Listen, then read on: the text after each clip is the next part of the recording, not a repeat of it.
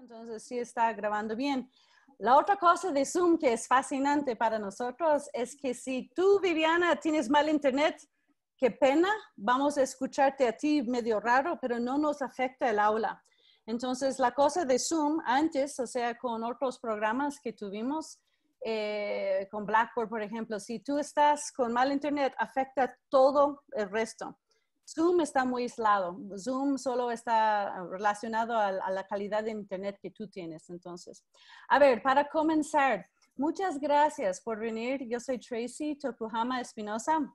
Ya mismo voy a, presentarme, pero antes quiero asegurarnos que todos estamos bien con la versión actualizada de Zoom, porque puede afectar eh, el audio o el visual. Si ustedes pueden ver en la parte arriba a la izquierda donde dice zoom.us, si aplastas y dice allí check for updates, eso es revisar si hay una actualización. Y si aplastas, en mi caso va a decir, ah, tú estás bien actualizado, no hay problema. Pero en algunos casos de ustedes puede llegar a ser que dice que necesitas una actualización. Si esto es la primera vez que entras en Zoom, estás actualizado porque es la, vas a tener esta versión, ¿ok? También, si no están conversando o hablando, Franklin, tal vez sería bueno que se ponen en silencio tu micrófono, que es la parte aquí abajo a la izquierda, para que no escuchamos eh, los perros en la casa o los niños corriendo o lo que sea, la televisión atrás. Entonces, pon en silencio, mute, o sea, si no estás conversando, ¿no?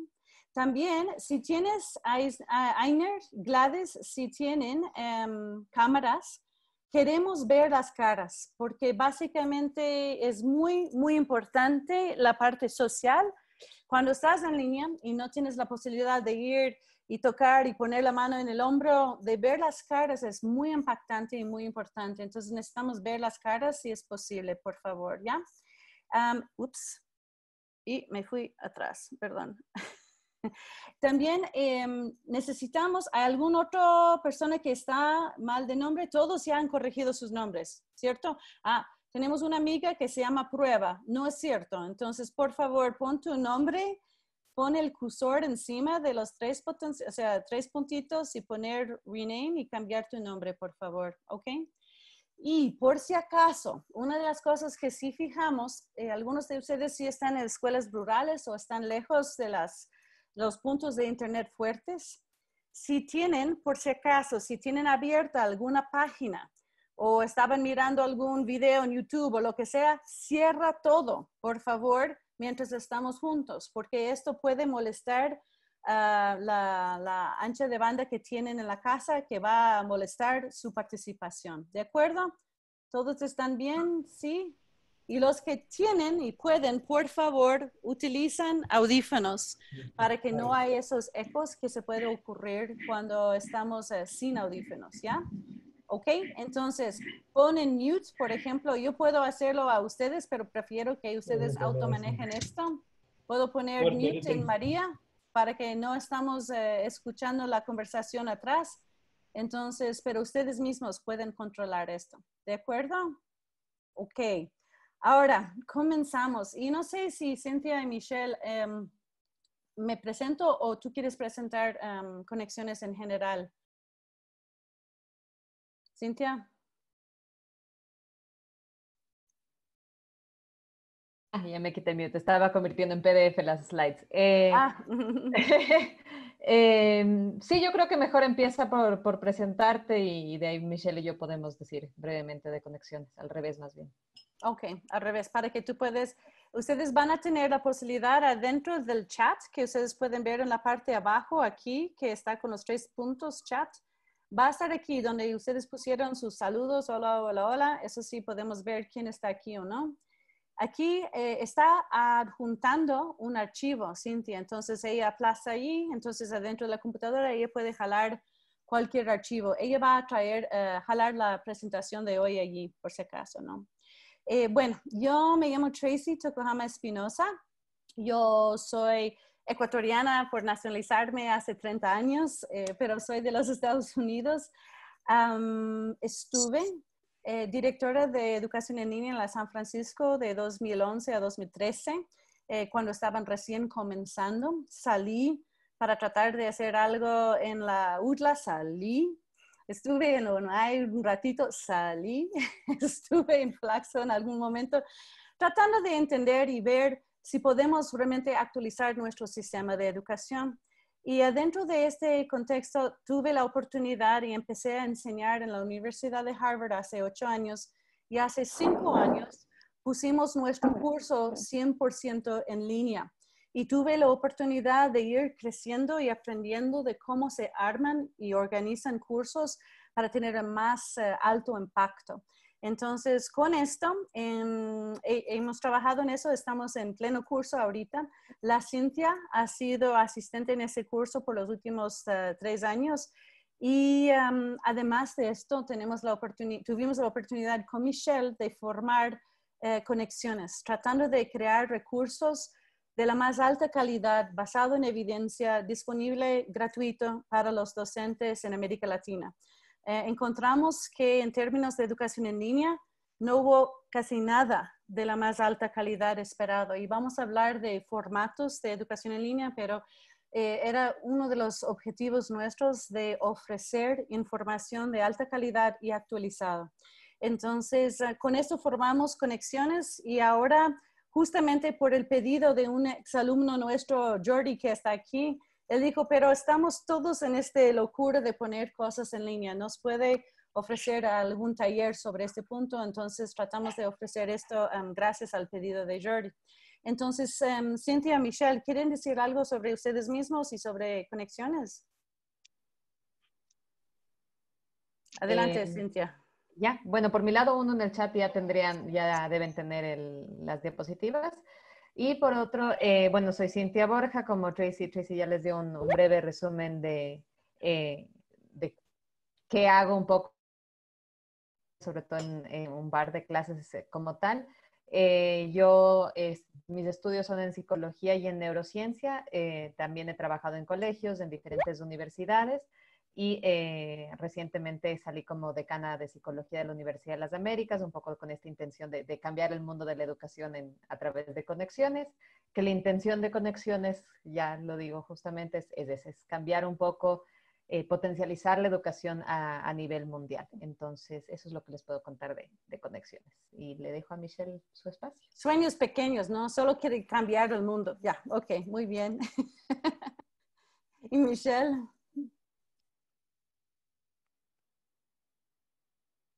¿Dónde está Michelle? Tenemos tantos Michelles y ahora Michelle no está. Pareció. Ahí sí me escuchan. Y ahora sí. Ya, ahora sí. Em, sí, justamente como, bueno, yo trabajo he trabajado con Tracy desde hace casi 10 años, desde que estuvimos ahí en la, en la San Francisco.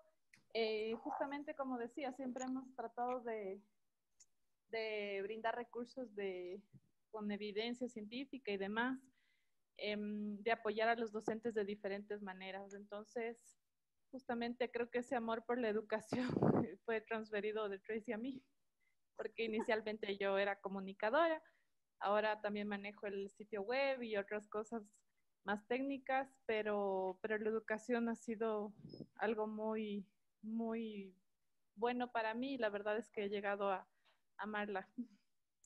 Qué lindo, qué lindo. Gracias. A ver, ahora queremos entender un poquito, ya hablé eh, y entiendo que Jimena es de Ibarra. Jimena, tienes alzado la mano, ¿quieres decir algo también? Jimena. No, ya, no, ya pude conectarme, tenía dificultad para, para el audio, ya, ya puedo escucharles ya.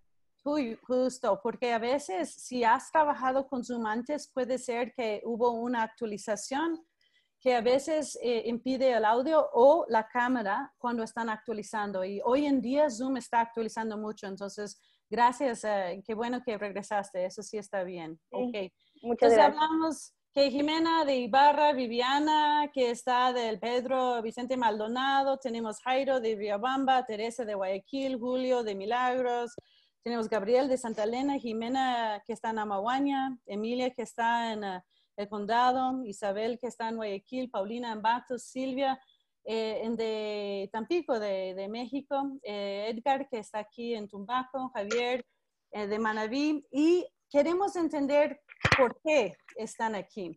Tenemos muchos de ustedes aquí. María, ¿estás saludando o estás? Sí, ¿quieres decir algo? No te escuchamos. Tienes que no me, no, me nombro, buenas tardes, no me nombro, entonces pensé que no me veía. A ver, cuéntanos, ¿dónde estás tú?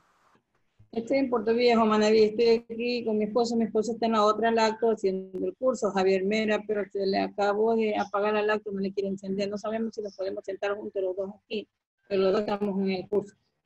Muy bien. De Puerto Viejo, de Manaví. Muy bien, Michelle, ¿puedes ayudarle al marido por si acaso? ¿Ya? Y Gladys, ¿dónde estás tú? tú? Tú estás, Gladys, también en Ecuador. El lacto él se le, no le quiere prender, estaba sentado aquí a mi lado. La prende y se la apaga, pero ella saludó todo, dijo que era deportivo. Entonces no sabemos si nos podemos sentar juntos los dos aquí para que lo vean él también. Si están en un solo computadora y están sentados juntos, está bien. Si están computadora y computadora, va a haber un eco horrible, entonces no. Pero Estábamos en computadora, computadora, pero la de él se, se apagó y no quiere encender. Ok, que se vaya en otro cuarto, porfa, porque si no vamos a tener un eco horrible cuando están sentados abiertos eh, juntos, ¿ok? Pero no le quiere encender, se puede sentar aquí entonces al lado mío, porque no quiere encender la otra lado. Sí, eso puede ser, eso puede ser. Ahora, Gladys, ¿dónde estás, Gladys? Ay, ¿me escuchan? Buenas tardes. ¿Cómo estás? ¿Dónde estás ahorita en el mundo? Eh, yo estoy en Quito. En Quito. Em, estoy tratando de por primera vez utilizar esta aplicación. Estoy desde mi celular, no, no, desde un computador y se me está haciendo un poco difícil, pero les estoy escuchando todo. No sé si es que me, me, miraban porque en un inicio no sabía si estaba activada mi cámara. Sí, te podemos ver, eh, te podemos ver perfectamente. Y eso es una cosa muy linda del ah, Zoom, que se puede utilizar a través de computadoras y o teléfonos, no hay ningún problema. Eh, lo que es más importante, en el mundo, la mayoría de la gente utilizan teléfonos, no computadoras, para aprendizaje en línea. Y eso puede llegar a ser cierto por los estudiantes suyos, que puede ser que no tienen computadoras en la casa, pero sí pueden, tener adentro de sus teléfonos, pueden bajar eh, la, la, aplicación y utilizarlo sin problemas, ¿no? Entonces, para registrar que todos están aquí, quiero confirmar que todos han puesto aquí un hola, hola, hola o han puesto alguna pregunta. Si, si, tienen alguna pregunta enseguida, por favor, indica aquí en, en el chat. ¿Ok?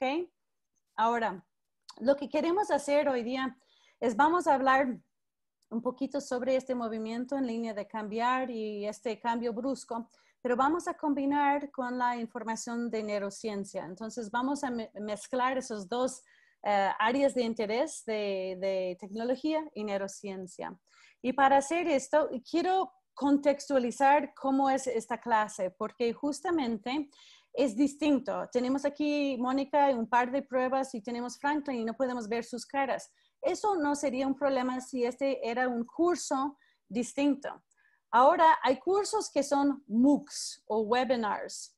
Esto no importa a nadie si se pueden ver o si están o si tienen micrófonos ni nada, porque estos son en general asincrónicos y hay poco participación. Pero cuando tienes una clase como lo nuestro, hay un alto nivel de participación de la gente. Entonces, cuando la gente habla de ah, educación en línea, educación a distancia, educación virtual, hay varias distintas cosas que caben adentro de ese espectro de información, ¿ok? Entonces, solo para que ustedes sepan, ahora estamos hablando de un curso de verdad, de participación, donde voy a decir, Edgar, si captas esa diferencia entre el espectro de cursos que se puede ofrecer. Y Edgar puede abrir su micrófono. ¿Y qué dice Edgar? sí, Tracy, sí puedo captar lo que tú mencionas. ¿Y qué es esto? Resumen en mejores palabras que las mías. A ver, ¿qué dije? Em, bueno, la educación en línea puede ser, eh, tiene diferentes, em, llamémosle así, metodologías, ¿no? Desde los MOOCs en los cuales tienes poca participación y no es necesario el micrófono y la cámara, hasta un curso en el que estamos ahorita, 40 personas, en, en que sería una alternativa eh, o se vería igual al, presencial. Entonces, sí necesitas esa eh, participación de los alumnos. Excelente. Siempre eres un excelente alumno. Entonces, otra cosa que es interesantísimo y de perspectiva psicológica que algunos de ustedes van a apreciar. En un aula típico, Marco, tú ves a veces los alumnos, pero muchos de los alumnos no se ven entre ellos, no se pueden ver, ¿cierto? Porque Silvia, tú sabes que algunos están mirando, o sea, la nuque de, la otra persona, están mirando la cabeza, no están mirando las caras. Pero cuando estás en línea, en este formato, tú puedes ver las caras de absolutamente todo el mundo. Y ese tiene un efecto muy impactante eh, relacionado a emociones y la manera de que podemos transferir emociones y compartir ideas y tener un diálogo bastante íntimo cuando estamos en línea. Entonces, eh, vamos a discutir eso después, pero solo para que puedan ver, eh, ustedes pueden verse a sí mismos, pueden ver a toditos y además tú puedes ver tu propia cara, Diana, y eso sí, a veces es raro. Tú puedes ver cómo tú estás reaccionando a lo que dice otra persona. Y eso en sí te cambia la manera que tú decides interactuar, ¿cierto? Entonces, es impactante, es fuerte, o sea, y es muy poderoso tener ese tipo de interacción. Entonces, queremos que ustedes entiendan que hoy día queremos hablar de este tipo de curso, un curso más o menos deluxe, no un curso que es el típico pregrabado, que estos tienen bien poco nivel de aprendizaje en sí y tienen casi cero de evidencia si alguien ha aprendido algo. Pero en estos cursos puedes tener grabado mucha información sobre el aprendizaje de la gente, ¿ok? Entonces, primera cosa, a ver, todos son docentes, entonces han de tener lápiz o un esfero o, papel, por lo menos tiene abierto la compu, ¿cierto? Ok, aquí está la invitación. Quiero que ustedes escriben esas direcciones. ¿Por qué? Aquí viene una pregunta del millón. A ver, Galaxy, no te creo que tu nombre es Galaxy. Prueba, tu nombre no es prueba. Por favor, cambia tu nombre para que podamos llamarles y hablar. Laura, si tienes cámara, préndelo. Franklin, Mónica, cámaras. Zoraida, cámara. Jofre, por favor, cámaras. Lo que quiero pedirte es, a ver, Pablo, tú sabes, Pablo Ganazapa. Pablo, ¿me escuchas? Mm, sí, Pablo Ganazapa. Hola, ¿cómo estás? ¿Dónde estás en el, eh, mundo? Eh, en la ciudad de Loja. En Loja. A ver, Pablo, una pregunta. ¿Tú sabes por qué los seres humanos escriben?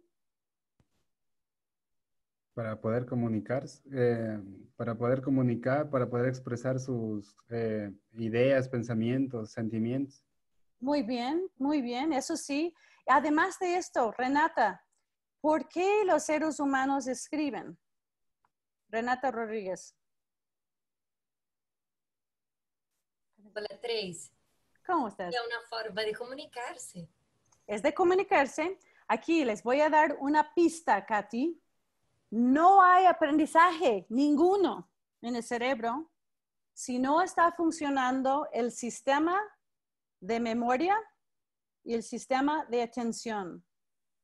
Si no tienes memoria o no tienes atención, no tienes aprendizaje. Entonces, si les pregunto, les pido, por favor, escribe esas direcciones. ¿Qué crees que eso está ayudando en el cerebro? Katy, ¿tienes alguna idea?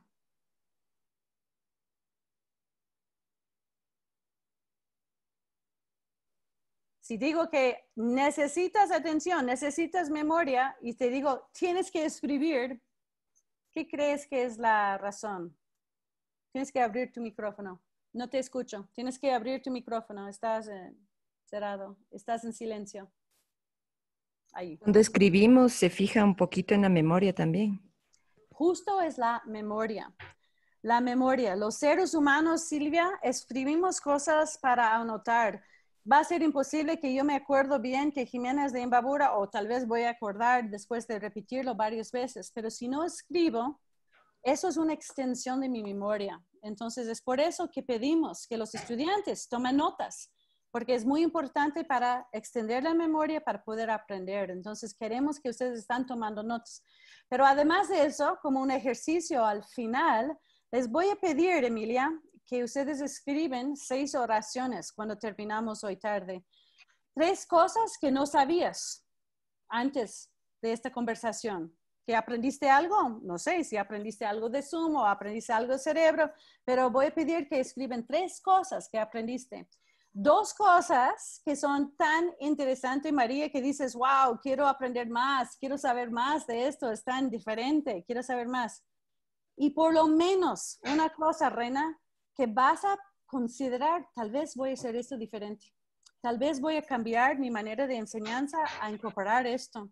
¿Ya? Entonces, ¿listos? Porque entonces lo que quiero es que ustedes empiecen a tomar notas para poder, ah, subraya las cosas, ah, eso es nuevo. Ah, no, eso es interesante. Ah, esto tal vez voy a cambiar. Yo quiero que ustedes tomen notas en esta manera para poder ya fijar en sus cabezas la información que vamos a compartir ahorita. ¿Ok? Entonces, parte de la razón que es importante esto es, eh, además de escribir nuestra dirección, no es solo por extender la memoria, pero es para tranquilizarse. No hay ningún aprendizaje sin emoción. Y ahorita toditos nosotros estamos muy emocionados, estamos ansiosos, estamos con una incertidumbre tremendo, estamos aprendiendo cosas nuevas para, para cambiar nuestra propia profesión. Y lo que queremos es que ustedes caigan en cuenta que no existe cognición, no se puede aprender sin emociones. Eso sí es, un hecho del cerebro. ¿Por qué? Porque el estímulo sube eh, en el base del cerebro, los primeros primeras paradas que hacen son para confirmar memorias. ¿Por qué? Porque Pablo, el cerebro quiere ahorrar energía. Y si ya sabe algo sobre el nuevo, ahorra energía. No tiene que aprender algo totalmente nuevo, puede relacionarlo con algo ya conocido. Entonces, justo por eso, entra la señal, pasa por la amígdala, le pasa menos de un segundo, se va al lóbulo frontal, regresa al hipocampo para reconfirmar la información en memoria. Entonces, todo esto, la amígdala procesa eh, las memorias emocionales, está muy, es un hub, es un eh, nodo crítico para, para el aprendizaje de la información. Entonces, también queremos que ustedes escriben por qué. Porque la parte aprender es emoción, eh, está lleno de emociones, ¿no? Y lo que queremos es que ustedes tomen la decisión. Eso no va a ser difícil, eso sí, gozo de esto, me encanta ese, esa experiencia de aprendizaje y que también aceptan. Si ustedes están tratando de hacer algo así, Zoraida, tan difícil de meterse en línea, de aprender otro formato de enseñanza, que no están solos. O sea, no estamos tratando de apoyar y crear redes de gente que están aquí para apoyar entre nosotros, Teresa. Si tienes una duda, que vas a sentir cómodo en escribirnos y preguntar, y vamos a crear una comunidad a través de conexiones donde se pueden preguntar y apoyarnos entre nosotros, porque son tiempos complicados y queremos que se sienten tranquilos para poder estar abiertos y listos para aprender. Justamente sabemos si estás demasiado estresados o con mucha ansiedad o depresión, todos esos químicos no permiten nuevas conexiones y no vas a aprender. Entonces queremos que ustedes bajen el nivel de ansiedad y que ayuden a los estudiantes a sentir que eso sí es un lindo, es una linda manera de aprender. No es complicado, difícil y algo que no quieres, es algo fascinante y una maravilla de oportunidad que tenemos. ¿Ok? Entonces, ¿qué vamos a hacer? Vamos a hablar un poquito, como hemos discutido hasta ahora, en un poquito del cambio de nuestras propias profesiones. Está cambiando. Y de un mes a otro ya somos otro tipo de profesión y queremos discutir esto y qué impacto tiene para nosotros y qué podemos hacer. Queremos considerar qué nuevas destrezas eso va a implicar y cómo podemos ah, unir a, este reto. Además de esto, vamos a hablar a lo largo de la próxima hora, vamos a discutir un poquito más sobre el cerebro, el aprendizaje y justamente usar tecnología, mirar algunas herramientas que ustedes tal vez conocen y explicar por qué se debe o no se debe utilizarlo en este nuevo ambiente, de esta nueva modalidad en línea y qué tiene que ver con este enganche para ayudar a la gente a aprender. ¿Ok? Ahora, para comenzar, quiero que ustedes abren el chat, abren el chat y lo que quiero es que ustedes indiquen, por favor, una cosa que necesitas para poder hacer esto bien. ustedes de repente han tenido puesto enfrente tuyo un reto que a lo mejor en, tu, tu, escuela, Jorge, puede ser por años han hablado, uy, sí, la tecnología, y ya mismo vamos a ponernos en línea, y tal vez va a pasar, pero no fue hasta este mes que de repente, ¡pum!, todos, Shirley, nos toca hacer esto en línea o ya no hay educación. Entonces ya hemos cambiado de repente más acelerado esta agenda de organizarnos en línea. ¿Qué es lo que necesitan para hacer esto bien? A veces la gente dice, Jimena me dijo, mira, yo necesito, número uno, si vamos a hacer esto, yo necesito internet. Yo estoy en una escuela rural, yo no tengo esto. Y otra persona dice, mira, solo mis estudiantes no tienen compus en la casa, tienen teléfonos. ¿Es posible hacer esto con teléfonos? Otra persona me dice que, ah, necesito mejor comunicación. O sea, el ministerio está haciendo súper bien en comunicar y compartir ideas, pero yo no sé exactamente qué tengo que hacer. Necesito comunicación. Entonces, ¿qué es lo que tú necesitas, Jordi, para poder pasar a esta nueva fase, para poder enfocarnos a lo largo de la charla en sus preguntas? Por favor, escribe en el chat. Necesito X. Por lo menos una cosa que necesitan para sentir tranquilos en este cambio que vamos a experimentar nosotros todos. ¿Qué es lo que necesito?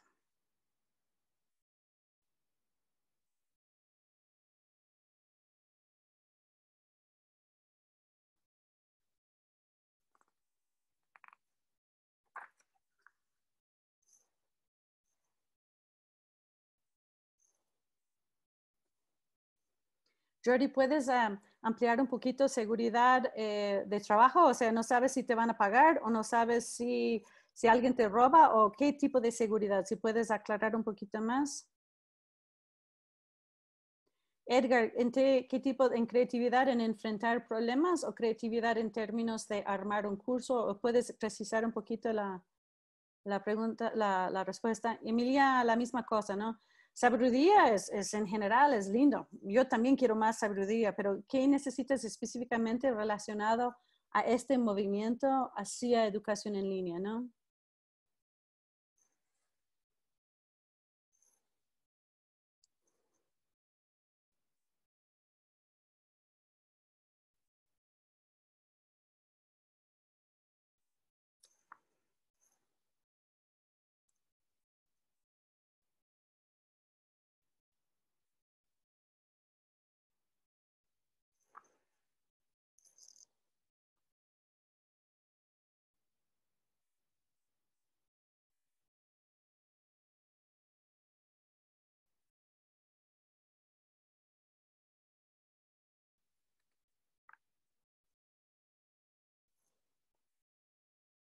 Muy bien. ¿Y todos han indicado algo?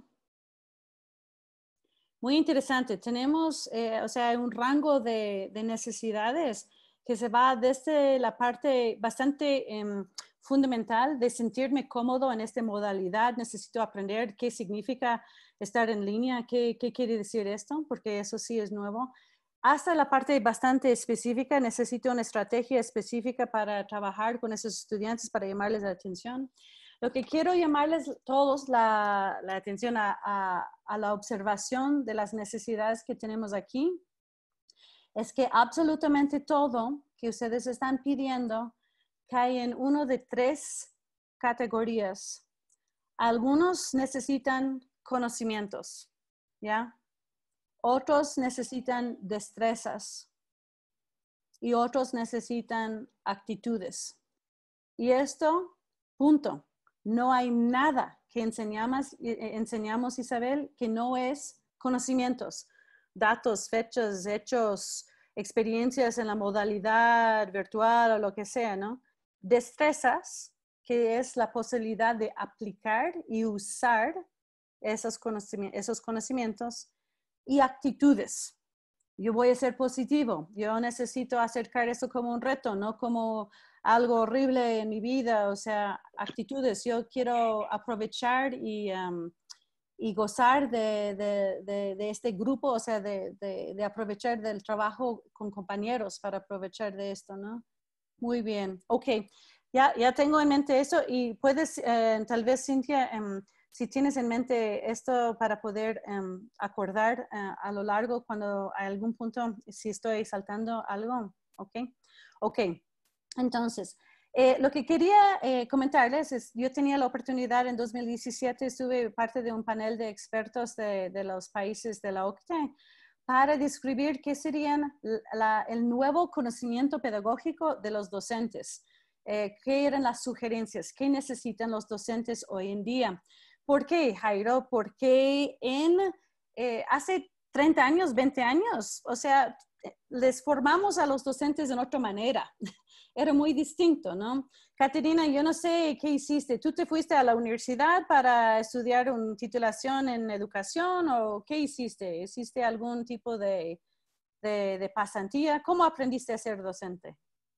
En la universidad seguí título, o sea, seguí ciencias de la educación. Ya. Pero como bien lo dice, o sea, la educación que a nosotros nos dieron eh, no era como ahora actualmente es. Entonces, es como que nosotros, bueno, en mi caso, eh, estoy, eh, no estoy acorde a la tecnología, o sea, está ya la tecnología cada vez avanzando mucho más. Y claro que nosotros tenemos que seguirnos ahí, pero, pero siempre nos hace falta bastante. Muy bien, y tu observación es exactamente lo que encontró, eh, lo que encontramos en este panel y lo que presentamos a los 34 países en esa época eh, que era necesario. A, propósito, Ecuador, por ejemplo, eh, es participante, no es miembro todavía, pero sí están con bastante... Ellos son los que hacen el examen PISA, por si acaso, ¿no? Entonces, parte de la recomendación era exactamente lo que acabas de decir. Entonces, Caterina, que era una, los docentes faltaban dos cosas. A ver, ayúdame a entender cuáles son las dos cosas, Gladys. Uno es tecnología. Los docentes en general en su formación actualizada no reciben mucho de tecnología, sino son como pilas como la Jimena que salió a tomar un, un certificado extra en TICS pero eso fue aparte, ¿ya? Entonces, ¿cuál es otra cosa que ustedes creen? Además de tecnología, ¿qué crees que está faltando en la formación docente, Sonia? ¿Tienes alguna idea de lo que sería faltante en la, en la formación docente típica? Desarrollar eh, destrezas en los niños. Bueno, de eso sí enseñamos mucho. Yo, yo diría que es una de las cosas que sí hacemos. Tratamos de enseñar a los docentes a cómo, cómo hacer ciertas actividades para desarrollar las destrezas. Pero las cosas que no estamos enseñando, es muy difícil saber lo que no estamos haciendo, ¿no? Porque es, es fácil reconocer lo que ya hacemos, pero difícil a saber lo que no hacemos. ¿Qué es una cosa que creen que no estamos enseñando, que deben tener todos los docentes? ¿Alguna idea? Cualquier persona. Silvia, ¿quieres abrir, abrirse el micrófono rápido? A ver. Tenemos que dejar los viejos hábitos, en donde pensábamos que la, la información les llega del maestro, o sea, lo transferimos como maestros a los alumnos y todo el conocimiento lo queremos dar nosotros y, y no es así. Estamos encontrando que ahora los muchachos tienen que aprender a encontrar su propia información y ser coaches y saber pues, de alguna manera dar un feedback, pero no estar pensando que todos somos los conocedores de toda la información. Linda, linda idea. Entonces, parte de la necesidad es que aprendemos que los mismos chicos son el centro de ese aprendizaje. La persona, hay un dicho en neurociencia, la persona que hace el trabajo es la persona que aprende. Entonces, si el docente está preparando todo, si el docente está organizando el quiz, si el docente está haciendo todo, el docente está aprendiendo mucho. Pero lo que tenemos que hacer es dar un papel más de protagonista a los estudiantes. Eso sí es interesante, es un cambio de actitud muy importante, ¿no? Otra cosa más. A ver, eh, Eduardo, ¿qué estás poniendo ahí en el chat? ¿Qué pusiste? de Ajá. Eduardo, ¿dónde está Eduardo? Por acá. ¿Dónde estás? Aquí estoy. Estoy buscándote. A ver, ¿dónde estás? Ahí estás, ahí estás, en la primera página. Justo. A ver, explícanos.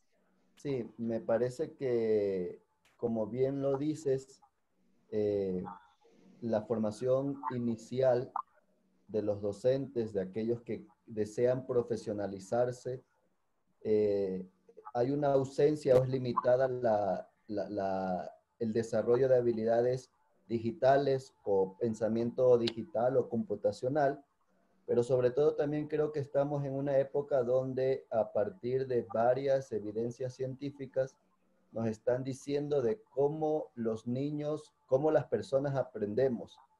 En otras palabras, cómo aprende el, cómo aprende el cerebro, digamos, ¿no? Y Perfecto. creo que eso es clave porque eh, son tiempos donde las habilidades cognitivas, como eh, aparecía en la primera diapositiva, eh, sin emoción no hay cognición, entonces comprender las habilidades cognitivas, comprender las competencias socioemocionales, ayudan fundamentalmente para que haya buenos aprendizajes.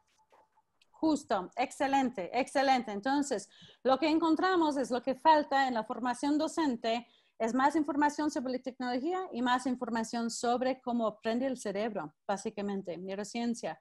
Y justamente esto ya empezaron a incorporar en algunos países del mundo, ya parte de la formación docente en el currículo incluye más cursos sobre tecnología y más cursos sobre cómo aprende el cerebro, ¿no? Y eso es un cambio.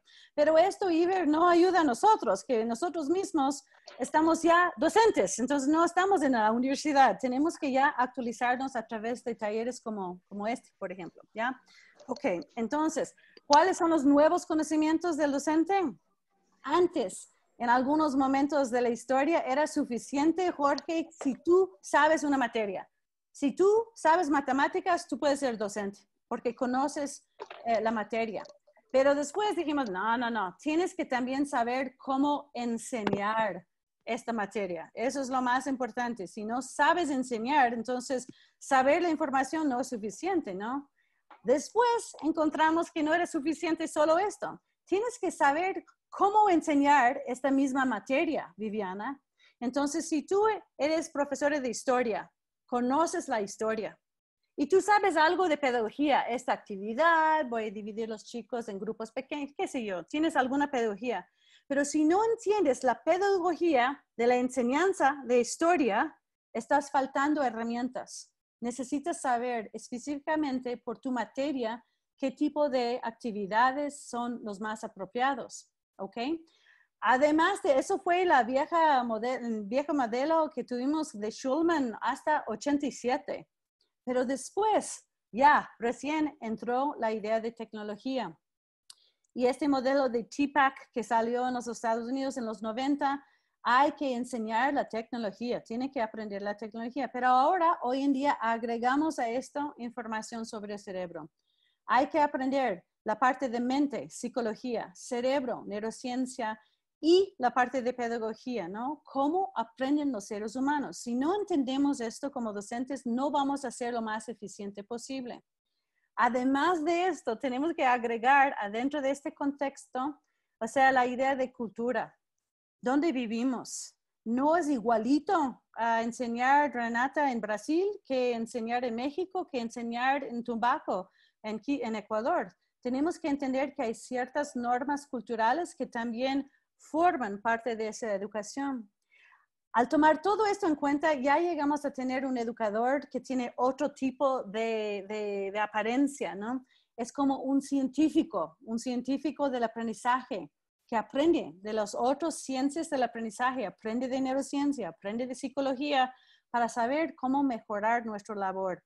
Y eso fue justamente eh, el, el, título de mi, mi, doctorado, mi tesis era la ciencia en el arte de enseñar cómo podemos usar la información de las otras ciencias del aprendizaje para poder aprender mejor, ¿no? Entonces, eso es el nuevo, la nueva formación.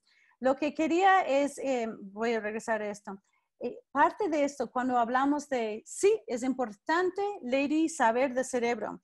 La gente dijeron, pero ¿qué? ¿Qué debemos enseñar a los docentes de cerebro? Y primera cosa que salió, o sea, Jorge, no me vas a creer, o sí me vas a creer, creo. Hay que quitarnos de los mitos. La gente en América Latina, los docentes en América Latina creemos en más mitos que los docentes en Asia, en Europa y los Estados Unidos. Los mitos como Ay, hay gente que son, tienen cerebro derecho y cerebro izquierdo. Eh, O hay gente que solo utilizan 10% del cerebro. O que los hombres y mujeres son diferentes. O hay estilos de aprendizaje. Todos estos son mitos. Pero repetimos cien mil veces. Y esto hace daño. Hace daño. Porque Silvia, tú sabes, si yo te digo que, ah, las mujeres no tienen cerebro para matemáticas, te daña la mitad de tu población. Y no es cierto, no es cierto, ¿no? Pero la gente sigue diciendo cosas que son mitos. Lo que quiero que ustedes hacen ahorita, Ainer, Marco, Sonia, por favor, en el chat, todos, pon algún mito que han escuchado recién, un mito o algo que quieres aclarar. ¿Eso es un mito o no? Quiero entender mejor si eso es un mito. Exacto. A ver, Silvia, déjame adivinar, tú eres zurda, ¿no? no. A ver, ¿qué más? ¿Qué son otros mitos que han escuchado? Exacto, Jordi, es un mito total, ¿cierto? Jordi, abre tu micrófono. ¿Qué es lo que sabes sobre esto de los adultos? ¿Los adultos pueden aprender tan rápido como los, este, niños? Jordi. Sí, el, el, eh, los adultos no, no, no aprenden más lento, simplemente hay una curva de esfuerzo que, puedes, que puede incrementarse, dado que todo aprendizaje pasa por, un, por, los aprendizajes pasados, por los conocimientos pasados, por lo que ya sabemos, ¿no? Ah, plus, sobresaliente. O sea, se puede notar que tomaste el curso. Oye, muy bien. Entonces, sí, es un mito que los adultos aprenden más lento que los niños. Los adultos aprenden hasta más rápido que los niños, siempre y cuando ponen el mismo tiempo, prestan el mismo tiempo al, al- aprendizaje. Entonces, los hombres son más fuertes. En general, el cuerpo del hombre es más grande y por ende sí, los hombres sí son más fuertes. Eso sí, no es necesariamente un mito. ¿Que son más inteligentes? No. Entonces, eso sí, es, esa parte sí es un mito, ¿no? Ah, a ver, los niños hiperactivos son más inteligentes. Eso sí, no necesariamente eh, es cierto. O sea, tu carrera final de educación, mujeres. A ver, mientras más tareas envía, más así. Eso sí, a ver, ¿quién es la persona prueba? Tienes que cambiar y poner tu nombre para poder verte tu nombre. La persona que pusiste eso de prueba es muy bueno. Eso, Edgar, es horrible, ¿no? Y siguen enseñando esto en partes de las universidades en eh, Ecuador, que hay tres cerebros. Hay un solo cerebro. Pero si metafóricamente hablando, McLaren dijera, dijo en 1979 que, ah, hay un cerebro más, o sea, reptiliano. Pero eso fue un metáforo, no, no es real. No tenemos tres cerebros, eso sí está muy mal. ¿Ok? Ah, las mujeres, eh, a ver, eh, eso sí, muchos de los eh, mitos tienen un pedazo de em, verdad. Las mujeres, Gisela, en general empiezan la, adolescencia casi un año antes que los niños, o sea, los, hombres. Y sí, su maduración sí puede ser un poquito más rápida, pero eso no tiene nada que ver con el aprendizaje en sí, pero eso sí es un impacto en nuestro sistema escolar. Si los niños sí están un poquito menos maduros físicamente y también, o sea, puede ser que hay algunas cosas sobre las redes neuronales de la toma de decisiones que no es justo a poner los niños, eh, o sea, en, en- mezclados así, que puede ser una desventaja, ¿ya? Ah, Anthony, muchas gracias, Anthony. ok, mujeres, o sea, niños, hermanas, muy bien, ok. Por lo menos ustedes sí reconocen que hay mitos. ¿Hay algo que no entienden por qué es un mito? ¿Que quieren entender? ¿Por qué? A ver, ¿quién? ¿Alguien? Joffrey, a ver, la educación pública es mala. Joffrey, eso sí es ridículo. Pero la educación pública es lo que recibe la mayoría de la gente, pero lo que es importantísimo reconocer es que en muchos países la educación pública está pagado por impuestos, los impuestos no están bien pagados, los docentes no están bien pagados, entonces mucha gente no la encuentra atractiva. Pero la educación en sí, cuando tienen docentes como ustedes que son dedicados, es fabuloso. Entonces hay que revisar eso. No es que se puede decir genéricamente que algo es bueno o malo, ¿ok?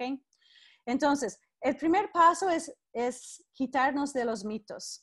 Una vez, pero tenemos que, y hay más de 70, no hemos revisado todo, pero hay que primero despejar el escenario para que no haya estos mitos en tu cerebro, ¿no? Que no crees en los mitos. ¿Por qué? Porque si crees en los mitos, empiezas a tratar diferente a la gente.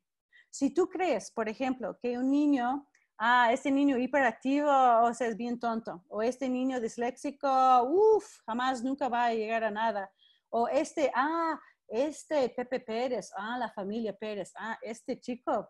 Si tú empiezas así, tú tratas este niño diferente y al tratarle diferente, el niño logra diferente. Entonces hay que aprender estas cosas para despejar los mitos. Después de los mitos, hay que aprender lo que son los principios y los principios son los aspectos sobre el cerebro que son ciertos por todos los cerebros, Reina, por tu cerebro, por mi cerebro, por cerebros de hombres, mujeres, por el hombre chino que está en otro lado, o sea, son ciertos por todo el mundo, pero solo hay seis de estos, hay seis cosas que son ciertos sobre el cerebro que está llegado al acuerdo, 112 neurocientíficos en el mundo que dicen eso es buena información para compartir con los docentes y vamos a ver eso en un segundo. De allí tú puedes aprender las cosas que sí son ciertos, pero hay una variación muy amplio. Por ejemplo, Ruth, ¿tú crees que la motivación es importante para el aprendizaje? Ruth. Abre tu micrófono y habla. Sí. Hola, ahora sí. ¿Me escucha? ¿Tú crees que motivación? Bueno, eh, fue uno. Claro que sí, perfectamente. Eh, de hecho, lo hago siempre con mis compañeros docentes eh, invitándolos a que trabajen en la tecnología, enseñándoles las herramientas, las pocas herramientas que conozco, las que son de más fácil uso, para que las manejen a, a diario en su clase y más que todo que pierdan el miedo a la computadora porque a veces Entonces, este, pero, yo a me ver, el, el punto mucho es eso, ¿no? el punto es diferente. El punto es que tú crees, tú estás de acuerdo que ellos deben estar con motivación para poder aprender bien, ¿cierto? Claro que sí. El claro sí. problema es, a algunos de tus compañeros no, no le importa la tecnología, ¿cierto? Entonces, la, la idea es. básica es lo que, motivación es importantísimo, pero lo que motiva a una persona, a Anthony, no motiva a Jorge. Y lo que motiva a Jorge no motiva a Edwin. Entonces, lo que motiva a Edwin no motiva a Diana. Entonces, todo el mundo es muy personalizado. Esas son cosas que son importantes, pero no son necesariamente genéricos. Podemos hacer una actividad motivante. ¿Qué quiere decir esto? Puede ser que Gabriel dice genial y Silvia dice que aburrido. Entonces, hay que motivar a la gente, pero es muy individual. Entonces, esos son los postulados, ¿ok? Después de esto, tienes que, tenemos que entender la cultura donde, dentro de la cual estamos trabajando. Y una vez que entendemos el contexto, recién podemos sugerir, ah, eso es una buena actividad, eso es una buena ah, idea para ampliar, o sea, usar en mi clase. Entonces, eso es básicamente la idea. Lo que quise solamente es mostrarles em, para entender lo básico del, em, del mente-cerebro educación, es que en este primer punto les mencioné que solo hay seis cosas. Jordi sabe, Renata sabe que demoramos nueve semanas en discutir todo eso, entonces obviamente en un par de minutos no va a ser que ustedes aprenden todo y entienden por qué funcionan, pero estas seis cosas, una vez que aprendes esto, entiendes cómo eso puede impactar la educación. Entender que no hay dos cerebros igualitos, basado en las experiencias previas de unas, ¿no? Que hay una variabilidad humana. Lo que motiva a una persona no motiva a otras personas que las experiencias previas siempre inciden en el nuevo aprendizaje. Lo que ya sabes, Silvia, influye en lo que puedes aprender en el futuro, ¿ya? Y que hay muchos cambios constantes en el cerebro. La, la idea es que puede ser que hay muchas cosas que pasan bajo el radar de tu ah, observación. No puedes ver lo que está pasando en el cerebro, pero a nivel molecular, ah, Lady, está cambiando ese cerebro poco a poco a poco. Entonces no debes de desesperarte, hay que tener paciencia, ¿no? Que los cerebros son plásticos hasta que te mueres. Tú puedes aprender hasta que, o sea, hasta la vejez. No es que hay un límite de tiempo, ¿ok? Y los sistemas de memoria y atención son muy importantes para aprendizaje. Sin memoria o sin atención no hay aprendizaje. Podemos discutir eso después. Hay un video de cada uno de estos en nuestra página web. Se pueden revisar y ver un video corto sobre cada punto, ¿no? De allí vienen los postulados. Solo son 21. Solo hay 21 de estos, pero tampoco vamos a revisar todos estos puntos. Pero hay un video sobre cada uno de estos también en la página web. Entonces quiero motivarles a revisar esto. Pero es de tomar en cuenta que si los alumnos, ustedes entienden, a ver, Lady, ¿tú estás de acuerdo si no duermes y no sueñes, no, no vas a poder aprender bien? ¿Tú crees que el dormir tiene algo que ver con el aprendizaje? Lady. Hola, ¿me escucha? Sí. Eh, sí, claro, porque la persona tiene la necesidad de poder descansar bien para estar atenta, en el caso de los estudiantes, en las clases. Justo. Entonces tú tienes la mitad de la fórmula una persona, acabas de decir, una persona tiene que dormir bien para poder prestar atención, ¿cierto? Claro. ¿Recuerdas la otra mitad de esta fórmula? Si no tienes atención y no tienes, ¿cuál es la otra cosa que tienes que tener para aprender? Eh, motivación. Ah, otra M. Eh, se me fue. en ese de sistemas de atención y sistemas de memoria. Ah, de memoria. y Memoria. Entonces, aquí hay una pista interesante. ¿Tú sabes por qué dormir y soñar son importantes? El dormir, la etapa de dormir te ayuda a prestar atención. La etapa de soñar, que es más o menos alrededor del 25% del, del dormir, hay una combinación de químicos muy específicos que ayuda en la consolidación de memoria. Entonces, si no permites a una persona dormir y soñar suficiente, no pueden aprender. Entonces, eso sí es importante, pero está aquí como un postulado. ¿Por qué? Tenemos que ah, reconocer, Gisela, hay algunas personas que necesitan dormir. ¿Cuántos de ustedes pueden aguantar cuatro o cinco horas? ¿Seis, siete, ocho, nueve? ¿Cuántas horas tienen que dormir ustedes? ¿Diez? ¿Cuántas horas? A ver, Gisela, no te escucho. Tienes que abrir tu micrófono. Ocho. Gisela, ¿cuántas horas duermes tú, Gisela? Ocho. ¿Ocho? Ocho. ujú. Muy bien. Ocho es, mira, de cuatro horas y media hasta Cuatro. doce y pico es normal. El promedio es ocho, pero no te puedes dictar a un niño y decirle, a ver, uy, tú tienes 10 años, tienes que dormir a 12 horas, no sé qué. Ridículo. Diferentes personas tienen distintas necesidades de dormir y soñar. Entonces hay que aprender estos también, ¿ok? Entonces, eso sí, para poder entender esta información, eso nos pone en contexto de incrementar información sobre mente, cerebro, educación con eso de la tecnología. Para poder hacer esta última parte, eso sí, son algunas. Tú me mandaste esto, Cintia, de lo que están haciendo los niños mientras están en casa ahorita, que no, no. ¿Tú no me mandaste esto? Ah, ok. O sea, lo, lo he visto en 10 diferentes chats, es posible que lo haya reenviado. Ah, ya, ok. Bueno, entonces estamos todos, o sea, con la idea que tenemos que enseñar en línea algunas de esas cosas, o sea, para poder ayudar a los niños a hacer algo más que dibujar en el perrito, ¿ok? Lo que vamos a hacer para que ustedes puedan aprender un poquito más sobre Zoom, pero también aprovechamos del conocimiento de este grupo. Tenemos gente muy inteligente aquí. Vamos a dividirles en un grupo de tres personas a través de lo que se llama las aulas pequeñas, son breakout rooms que existe en Zoom, ¿ok? Vamos a dividir y separarles. Van a estar afuera por más o menos cuatro minutos, no más.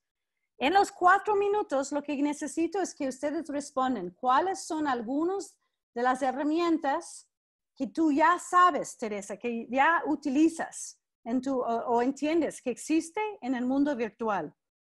Sabes, Al- tal vez que se puede utilizar foros o alguien sabe de algún app para apoyar matemáticas o alguien sabe, ustedes saben de cosas, ¿no? Lo que quiero es que el grupo logra tener por lo menos cinco cosas que se pueden utilizar en línea que funciona, que ustedes han escuchado o han visto. Esto sí es una maravilla, ¿de acuerdo?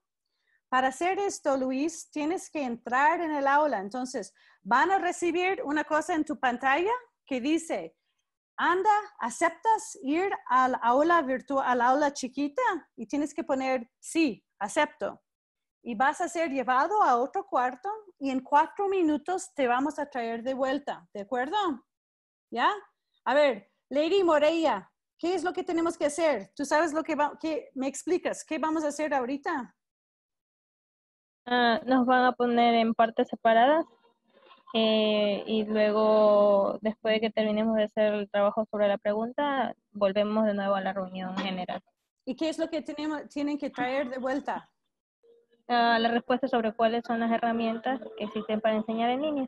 Perfecto. Muy bien. Ok, entonces vamos, Cintia, vamos a las, a las aulas. Entonces Eh, vamos a estar... ¿puedo, puedo pedir un segundito solo que todos los que estén desde el celular solo levanten así la mano para poder verles un segundo? Gladys, Soraya, Jimena. Marco, Anthony, los cuatro. Ya, perfecto. Entonces ellos se, se van a, a quedar en, en esta sala porque no pueden salir a, a cuarto. Ok, y tú puedes estar con ellos, ¿ya?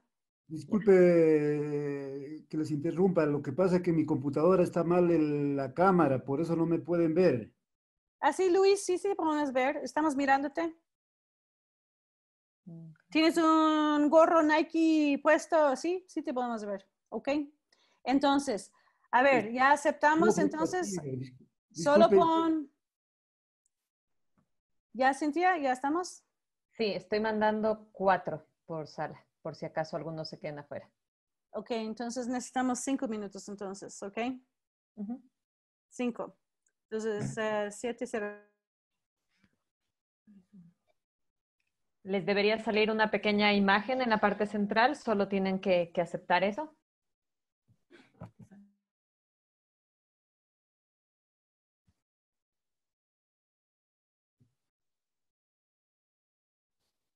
Perfecto.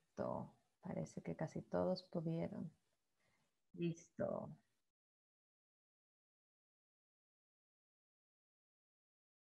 Excelente, entonces, a ver, yo voy a pausar aquí un segundo. ¿Les fue? No les- por lo, así, si es que no les puedo ir, hagan así. ¿Cómo nos fue? Nos fue bien. Nos Bien. fue muy bien, sí. Perfecto. Unas compañeras de Loja, yo soy de Guayaquil, con una compañera de Loja y una de Santa Rosa. Ah, qué bonito. Sí. Perfecto. Bueno, ¿y qué les pareció? Esta es una función que nos gusta bastante, la verdad, porque bueno, todos ustedes salieron, pero en realidad les salía un pequeño anuncio que dice, les queda tanto tiempo dis- disponible. Y veo que pudieron irse incluso aquellos que estaban en celular, lo cual es primera vez que me funciona. No, no sé cómo lo logramos, pero nunca me ha funcionado para que se vayan aquellos que, que están en celular, pero esta vez funcionó.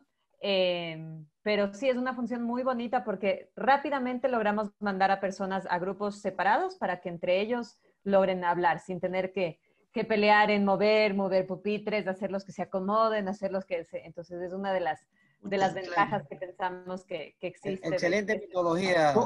Sí, ¿Cómo, Muy bonito. cómo podemos hacer, o sea, cuál es el proceso para generar estos grupos?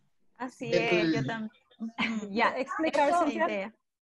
Eso, si desean, lo que se puede hacer es, es- tenemos mucha desinformación en, en, en- en nuestra página, ahí tenemos incluso infografías.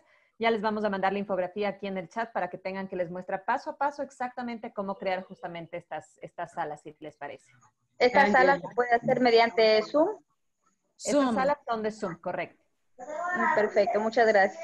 Todo eso de Zoom y trabajar en gru- grupos bastante. pequeños es, es muy, o sea, ayuda bastante para tener esta conversación que queremos y crear esos grupos más íntimos, ¿cierto? Lo que tiene, o sea, y Cintia va a poner todas las instrucciones básicas, pero cuando están, la persona ahorita que es host, que Cintia, esta persona es la persona pe- que pueden crear los grupos. Entonces ella te va a describir cómo lo hace, pero es, ah, es muy bueno, muy bueno. Lo que quieres ver, María ah, Cedeño, ¿qué pasó en tu grupo? Mi ¿Cuáles grupo. son algunas de las ideas que salieron de tu grupo? Em, para que fue algo bonito, un rapidito conversamos dónde era cada compañero y ahí acordamos de que existe el Microsoft Teams que ahorita estamos utilizando para los teletrabajos con los directores, el Wikipedia, el que estamos utilizando ahorita el Songs, el Modre, que ayer me, nos inscribimos en unos cursos, el YouTube, el Google, las plataformas virtuales, las redes sociales también nos ayudan. Para nosotros todo es importante, todas estas que hemos nombrado ah, ah, son redes de comunicación, tecnología y educación para llegar a los estudiantes y a los padres. Muy bien. Y Julio, en tu grupo, ¿qué pasó en tu grupo, Julio? ¿Cuáles eran las ideas que generaron ahí? Sí, buenas noches. Eh, nos pareció bastante interesante conocer algunas de las herramientas como las que mencionó la compañera. En mi caso, les compartí de Kahoot, que considero que la lúdica es muy bueno en el proceso de enseñanza-aprendizaje y mucho más que los niños se involucren en ese proceso. Se habló aquí de la emoción y eso es un factor importante para atender, para comprender, para estar eh, incluido dentro de una plataforma cualquiera que ésta sea. Y eso pues eh, coincidimos en algunos de los compañeros que les ha servido mucho. Eh, me gustó las experiencias de cada uno de ellos y mucho más del uso, por ejemplo, que no conocía, de grupos pequeños para poder trabajar, poner esto en la práctica en, en mi área. Yo trabajo en una escuela, sin necesidad, como dijo la compañera Cintia, de mover bancas y, cambiar el mobiliario, que es estructuralmente complicado y genera mucha distracción. Esto acá no. En un orden y en una armonía llegamos a compartir muchas experiencias. Excelente, muy bien. Hagamos una cosa para poder aprovechar de todas las ideas del conocimiento del grupo. En el chat, si pueden, por favor, indicar las cosas que les sugieron la, la información o, o los grupos o las herramientas o las plataformas que mencionaban el, el, YouTube, el Wikipedia, lo que es Microsoft Teams, Moodle, o sea, varias cosas, pero si pueden por favor indicar en el chat la lista o por lo menos una cosa que te impactó a ti, que algo que dices, wow, eso sí es interesante, quiero compartir eso o voy a utilizar esto, por favor. Y mientras están tipeando allí, por favor, eh, déjeme ver, Jorge, Jorge, dime, en tu grupo, ¿qué pasó en tu grupo? ¿Cuáles, ¿Cuáles eran las ideas que surgieron ahí? Muy buenas noches. Aquí, bueno, eh, estuvimos hablando sobre el uso de las plataformas, en la cual podemos visualizar los cuestionarios y los foros, y aparte de eso, también las, eh, las llamadas wikis. Muy bien. Que, que podemos así mismo intercambiar documentos y visualizar. Por ejemplo, por ejemplo, eh, podemos añadir y editar ciertos documentos. Asimismo, podemos compartir esos, esos documentos para que otras personas puedan editar. Muy bien. Entonces, como en la Microsoft 360, ustedes pueden utilizar el Google Docs para poder editar documentos. Muy bien. Lo que eh, Michelle, Cynthia y yo hicimos un estudio por uh, por el convenio Andrés Bello, un resumen en el mundo de cómo están utilizando la tecnología los docentes y generamos una lista de más de 400 diferentes cosas que, que están utilizando, basado en, en algunos que ustedes mencionaban, plataformas en sí, o sea, justamente plataformas, otros que eran como apps para organización uh, o para tomar, o sea, hacer encuestas como eso de Kahoot y las otras cosas allí están divididos en varios diferentes tipos de cosas. Hay algunos que son netamente, Viviana, que apoya al estudiante a hacer, revisar, revisar, revisar. Algunos chicos que necesitan mucho más práctica que otros, tú puedes utilizar ciertos apps para que ellos puedan tener la, la repetición necesaria, ¿cierto? Hay otros apps, Shirley, que te ayuda, por ejemplo, organizarse con los compañeros, los otros docentes. Entonces, adentro de una escuela, ¿cómo están organizando el tiempo, no? Y hay otros que son para autoeducarnos, que son plataformas de cursos, por ejemplo, para docentes. Entonces, hay varias diferentes ideas que pueden existir. Entonces, ojalá que, que podemos, si todos, por favor, pongan en el, en el chat las ideas que tienen y vamos a compartir esto con todos ustedes para que puedan tener una lista acumulativa de todo el grupo, ¿ok? ¿Cuál es la idea aquí? De herramientas de enseñanza y neurociencia, lo que queremos es resumir. Eso es el penúltimo slide y después vamos a conversar y ver ciertas preguntas que pueden tener, ¿cierto? En tener un grupo grande, lo que tenemos ahorita, al estar en línea tienes dos ventajas interesantes. Uno, eh, que está estudiado y interesantísimo, es que la gente cuando están en línea, Edwin, no sé si te sientes esto o no, pero lo que existe es un efecto de desinhibición. ¿Eso significa qué, Gabriel? Significa que tú estás dispuesto tal vez a compartir más cosas que compartirías si estabas sentado al lado de una persona. Porque simplemente te sientes en algún nivel, alguna protección, que estás un poquito más lejos y tú puedes decir y compartir cosas que tal vez no atreverías a compartir cara a cara. Y eso es fascinante, ¿no? Entonces existe ese efecto de desinhibición. Pero también existe algo que se llama contagio social. Eso significa que si eh, la Silvia sonríe así, está contentísima, y la Katy le ve a la Silvia, le empieza a sonreír también. Entonces todos, o sea, está contagioso que se sienten bien porque se pueden ver las caras. Y al poder nombrar las personas, todos tenemos nombres ahorita, ¿cierto, Diana? Y lo que es fascinante es podemos los docentes podemos llamar a las personas y le hace bastante más personalizado el contacto. Yo te puedo preguntar, ¿qué piensas de esto, Diana? Yo puedo nombrarte y estás, te sientes algo como, no soy solo una persona más en esa clase, o sea, soy una persona reconocida en esa clase y eso sí es distinto, ¿no? Y cuando tenemos esos grupos en aulas pequeñas, hay una personalización aún más, se puede escuchar la voz de cada persona se puede dividir grupos, o sea, Zoom acepta hasta 100 personas. Nosotros hemos manejado con, con Michelle y con Cintia bastante fácil hacerlo con 40, 50 personas si tenemos ayudantes, eso sí puede hacer. Pero se puede eh, hacer más personalizado cuando tenemos esos grupitos y podemos preguntar, Viviana, ¿qué piensas de esa herramienta? Y Jimena dice, mira, cuando yo hice mi certificación utilizamos X, Y, Z. Oh, no sabía esto. Y María dice, qué emoción. O sea, suena distinto, ¿no? Entonces, personalizar el aula utilizando esos espacios más pequeños. Además, en el chat que tenemos aquí, ustedes están aclarando y dando, ofreciendo información. En otros cursos, cuando es un curso regular y normal, a veces se utiliza esta parte para la aclaración eh, no van a, estoy seguro que ustedes han escuchado esto. Una vez, Juana, ¿has asistido a alguna conferencia? Y la, el ponente dice, a ver, y las preguntas al final, por favor. ¿Has escuchado esto?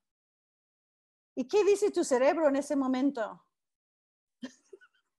Me olvido después de preguntarle. En ese momento tengo la idea, después me olvido. Justo. Entonces, parte de la idea de aprovechar del chat es que tú puedes en este momento, si quieres, tú puedes alzar la mano y tratar de aclarar allí, o tú puedes poner y al ayudante, tú dices, mira, ella dijo, o sea, ¿cómo se llama este nombre? ¿Cómo se le trae esto? Realmente, ¿qué es Microsoft 360? Yo quiero saber más de eso. Y la otra persona puede aclarar y entre el grupo se van aclarando. ¿Por qué? Tu cerebro necesita atención, y necesita memoria para poder aprender. Y si tú estás distraída porque estás pensando en la cosa que querías preguntar, no puedes prestar atención a la información que está pasando. Entonces, tú puedes aprovechar del chat para poder tener esas aclaraciones. Nosotros utilizamos en nuestra aula las quiz, los quiz, las pruebas, pero no utilizamos para castigar a nadie, Anthony. Nuestra idea es mucho más generosa. Lo que buscamos es que hay ah, una información en neurociencia que cuando haya pruebas de bajo peso, o sea, que casi no vale nada, pero con frecuencia, por ejemplo, todas las mañanas, Zoraida, tú decides ofrecer un pequeño quiz, pero casi no tiene peso en la nota del estudiante, pero le fuerza, le, obliga a la persona a exigir su memoria. Entonces, lo que hacemos en nuestra clase es en el Moodle, creamos un quiz por cada unidad, tiene como 7 y 10 preguntas. Y a nosotros, Jimena, no nos importa si tomas 100 veces. A mí no importa cuántas veces lo tomas. Lo que quiero es que tú sacas un 100 en esta prueba, que tú logras dominar el vocabulario o los conceptos que están allí. Entonces utilizamos los quiz, las herramientas típicas, un quiz, pero por otro razonamiento, es para mejorar la memoria por los conceptos, ¿ya? También utilizamos foros, o sea, los foros de discusión. ¿Ustedes utilizan eso? Daisy, ¿has utilizado un foro de discusión en algún curso en línea? Daisy, Rodríguez. Daisy, ¿nos escuchas? Está con el micrófono. Perdón. Ahora sí.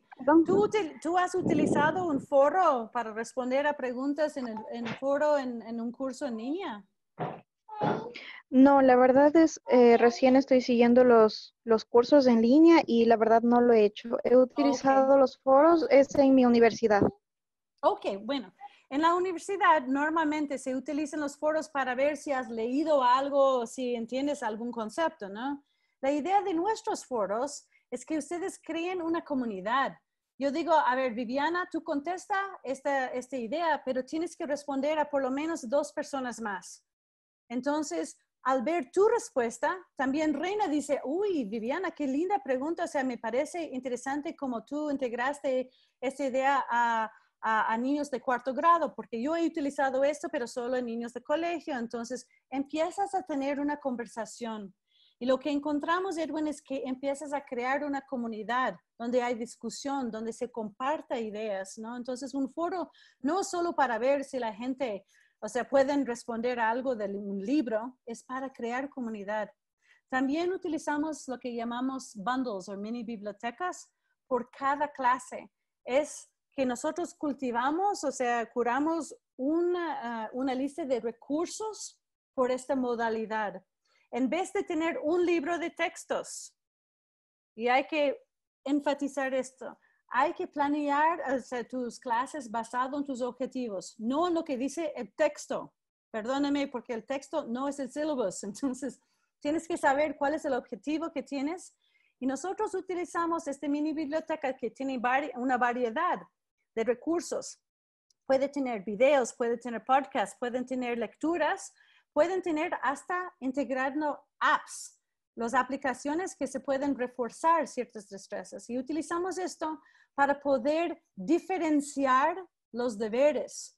Entonces, el, el estudiante puede tener en tu clase, Zoraida, ¿qué es lo que enseñas? No te escucho. Doy lengua extranjera, inglés. Ok, inglés. Entonces, en la clase de inglés, seguramente tienes chicos que son súper avanzados y súper más o menos promedio y chicos que necesitan bastante más apoyo, ¿cierto? Correcto. Entonces, sí. como en todas las clases tenemos chicos con distintas necesidades, las mini bibliotecas por cada clase, para cada tema, le dejamos, permitimos que entran en el nivel donde están empezando. Un chico que necesita revisar vocabulario básico antes del ejercicio, adentro de la mini biblioteca le ofrecemos la información. Entonces, y el chico que está súper avanzado puede tener cosas más avanzadas. La idea es, eh, es un concepto que seguramente ustedes van a aprender a través del ministerio, que es el diseño universal del aprendizaje. Y eso significa, es un tema que robamos aire de, de arquitectura. La idea es, algunas personas pueden hacer grados, pero todos pueden hacer rampas. Entonces construimos rampas. La idea en mi clase es que en mi mini biblioteca tengo suficiente información que Gabriel, Lady, Luis, Shirley, Diana, todos pueden tener un punto de entrada donde ellos están empezando. No tienen que empezar en X punto, pueden entrar a través de distintas herramientas para que ellos puedan ya llenar sus propios vacíos. El objetivo se queda igual por todos, pero no pretendemos que todos están entrando en el mismo nivel, ¿ok?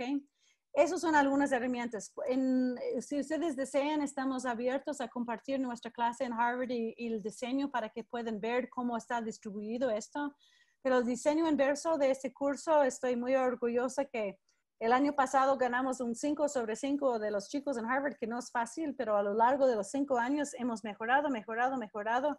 Y ya tenemos un diseño que realmente ofrece el refuerzo necesario y los puntos de entrada y la repetición necesaria. Entonces, si desean, podemos hacer un tour allí. Ok. También, Michelle, ¿quieres mencionar lo que estamos haciendo a través de una página para que si desean más, si quieren más información, Edna, si están, wow, eso sí, lindo, quiero irme en línea, ya, ¿qué pueden hacer la- esta gente ahorita por la próxima semana, Michelle? Sí, justamente estamos construyendo esta, esta sección dentro de nuestra página web para eh, ir indicándoles paso a paso cómo iniciar una clase en línea. Entonces, por ejemplo, me interesa la parte de diferenciación. Entonces, ¿qué estrategias puedo usar? qué herramientas puedo usar. Eh, me interesa cómo adaptar, por ejemplo, mis clases presenciales en línea. Igual, qué estrategias, qué herramientas, preguntas frecuentes que se tiene. Em, si soy administrador, no soy educador, soy administrador, quizás tengo otro tipo de preguntas, otras necesidades de igual manera. Entonces, eh, va a quedar súper lindo. Costando trabajo, pero, pero esperemos justamente que puedan sacar el mayor provecho de, de, esto, de estos recursos que hemos estado construyendo y que, y que seguiremos construyendo, porque esta, justamente este, descubrir este nuevo mundo en línea, la verdad es que sí vale la pena y ya van a ver que, que se van a enamorar de Un ejemplo de este tipo de información estoy poniendo en el chat. Hicimos un árbol de decisiones, o sea, cómo logran a empezar a poner cursos en línea, qué tengo que decidir o sea, hago eso, hago el otro. Tengo plataforma, no tengo. Tengo Zoom, no tengo Zoom. O sea, es un árbol de decisiones para apoyar a los docentes y las escuelas a tomar una decisión de cómo se pone en línea, ¿no? Entonces, esos son algunos recursos que van a estar allí. Entonces, en resumen, para mí, Reina, no hay duda ninguna. Si está bien construido tu clase, Emilia, ahorra tiempo ponerse en línea sí es un esfuerzo inicial, porque no es algo que estamos totalmente acostumbrados, pero una vez que entendemos cómo armar esto, realmente nos ahorra tiempo, porque nos permite, Emilia, a dejar que la tecnología hace lo que hace la tecnología bien. Por ejemplo, hay un niño que necesitan revisar este punto de matemáticas, un niño que necesita bastante más refuerzo que los otros niños. Yo no tengo que tomar el tiempo de mi clase, mi tiempo personalizado. Yo puedo aprovechar de ciertos apps que puede repetir, repetir, repetir con este chico, ¿no? Entonces, yo le dejo que la tecnología hace lo que hace la tecnología bien para dejar que nosotros hacemos lo que nosotros hacemos bien. Podemos motivar al chico, podemos apoyarle, podemos darle ánimo que se puede lograr hacerlo y diferenciar su deber para que él logre. Entonces, ahorra tiempo. También nos permite diferenciar bastante mejor, personalizar el aula. Podemos empezar a conocer todos los nombres y los chicos se sienten que son parte de una comunidad de aprendizaje. Y también todo el diseño que estamos ofreciendo está basado en evidencia. Hemos publicado eh, sobre ese diseño inverso en varios lados. Entonces, quiero pedir, a ver, mi amiga Silvia, Tú puedes leer esto en tu voz de radio, por favor. Puedes leer este lindo, o sea, para que no olvidamos nuestro papel en todo esto. O sea, estamos hablando de tecnología y cerebros, pero nosotros. A ver, ¿puedes, por favor? Somos dos Silvias. Ah, perdón. Ah, no, a ver, a ver, Silvia, que tienes el micrófono abierto, Silvia Ocampo, sigue nomás. Sí, una conclusión aterradora.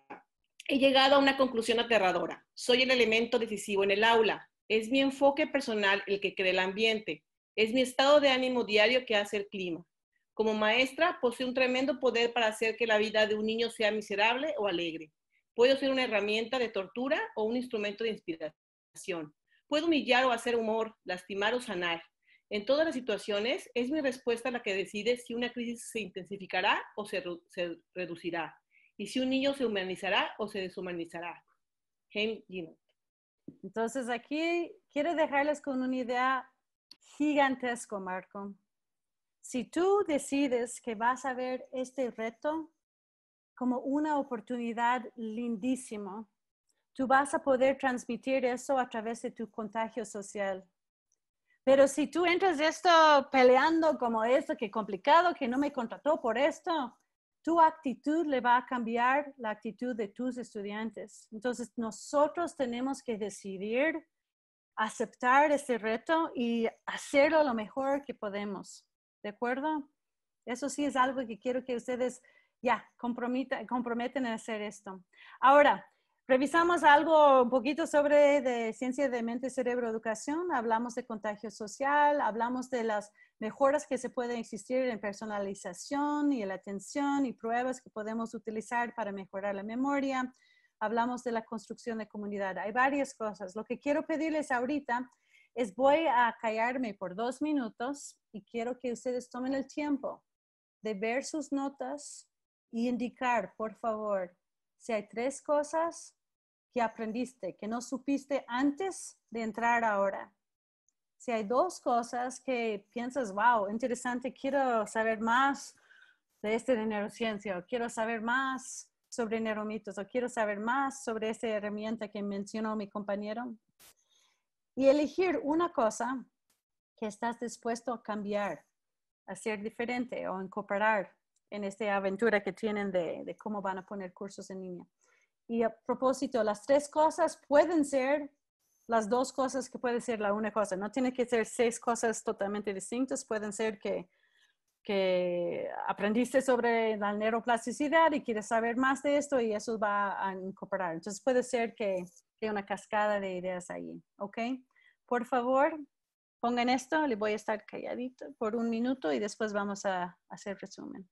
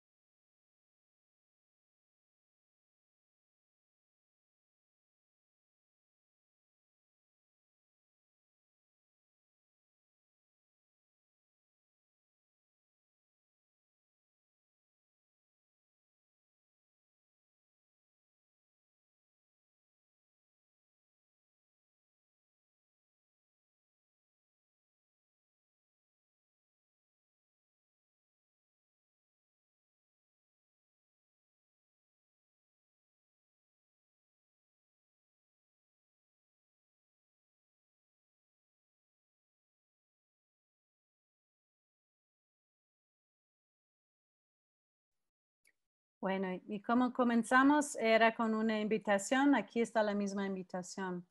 Si ustedes quieren, no tienen que hacer esto, pero si quieren enviar su 321 a nosotros y tienen dos cosas que quieren aprender más, vamos a responder y vamos a tratar de guiarles y satisfacer esta curiosidad que tienen sobre esta información.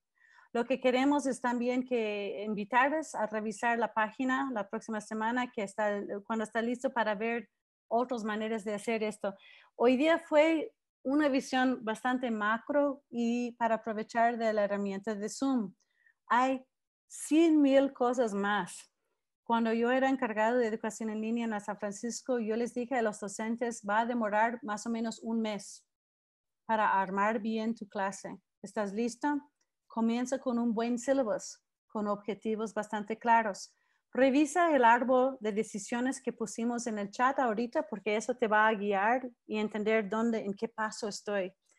Y si necesitan algún apoyo, o sea, no dudes en contactarnos. Pero no nos dice, a ver, quiero ser mejor docente en línea, ayuda. Por favor, sea específico con las preguntas, porque para nosotros lo más específico que son mejor que podemos responder. Entonces, si tienen algunas dudas específicas, ¿no? Entonces, en honor de su tiempo, nosotros siempre comenzamos a tiempo y siempre terminamos a tiempo. Eh, entonces, si ustedes tienen que irse, no, no se sienten esclavos aquí, pero si desean, nos quedamos hasta que terminamos con todas las dudas que tienen ahorita. Entonces, eh, ¿alguna duda, alguna observación, alguna pregunta? ¿Cómo te sientes, Edgar? ¿Estás listo a meterse en línea? Feliz sí, Tracy, realmente es un nuevo reto para mí porque jamás había enseñado en línea. Entonces sí es un nuevo reto, pero muy bien con las, con las técnicas que vamos aprendiendo, Tracy. yo quiero convencerte, Edgar, eh, hubo un estudio, eh, hay un estudio que ha durado por los últimos 12 años en los Estados Unidos. Estaba tratando de meter la mano en el pulso de cómo se percibe educación en línea. Y hace 12 años pensaba que educación en línea era peor que cara a cara. Ah, el año pasado, o sea, hace dos años, perdón, 2017, al final de 2017 ya cambió la curva. Los, eh, eh, la, la, encuesta era de los estudiantes eh, universitarias que había tomado por lo menos un curso en cada modalidad. Y ellos dijeron que el número uno, o sea, de lejos, o sea, que era mejor, era blended, era una mezcla de en línea, algunas cosas en línea, algunas cosas presenciales. Pero justo atrás era 100% en línea y lejos era 100% cara a cara. ¿Por qué? porque encontraron que hubo mucha más flexibilidad cuando haces cursos en línea, cuando haces, por ejemplo, ustedes no, no comentaron sobre flipping. Jordi, ¿todavía estás aquí? Jordi está, Renata está. Tracy, por favor, no sé si me puede dar la oportunidad para participar. Sí, sí, ¿quién está hablando? Lo que, ah, Jordi. Jairo. Solo, que- solo quería que Jordi nos explique qué es flipping, o sea, el aula invertida. Y después, um, ¿quién, ¿quién está pidiendo el micrófono? Jairo, por favor, Jairo. Jairo. Ok, primero Jordi, después Jairo. Jordi, sigue. Gracias.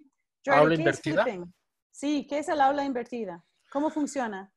Pues una metodología en la que la lógica de la clase eh, se invierte, por eso es el nombre, y los alumnos pasan el tiempo en clase practicando los conceptos, trabajando alrededor, digamos, eh, haciendo la tarea en vez de, de- de, este, de recibir el conocimiento.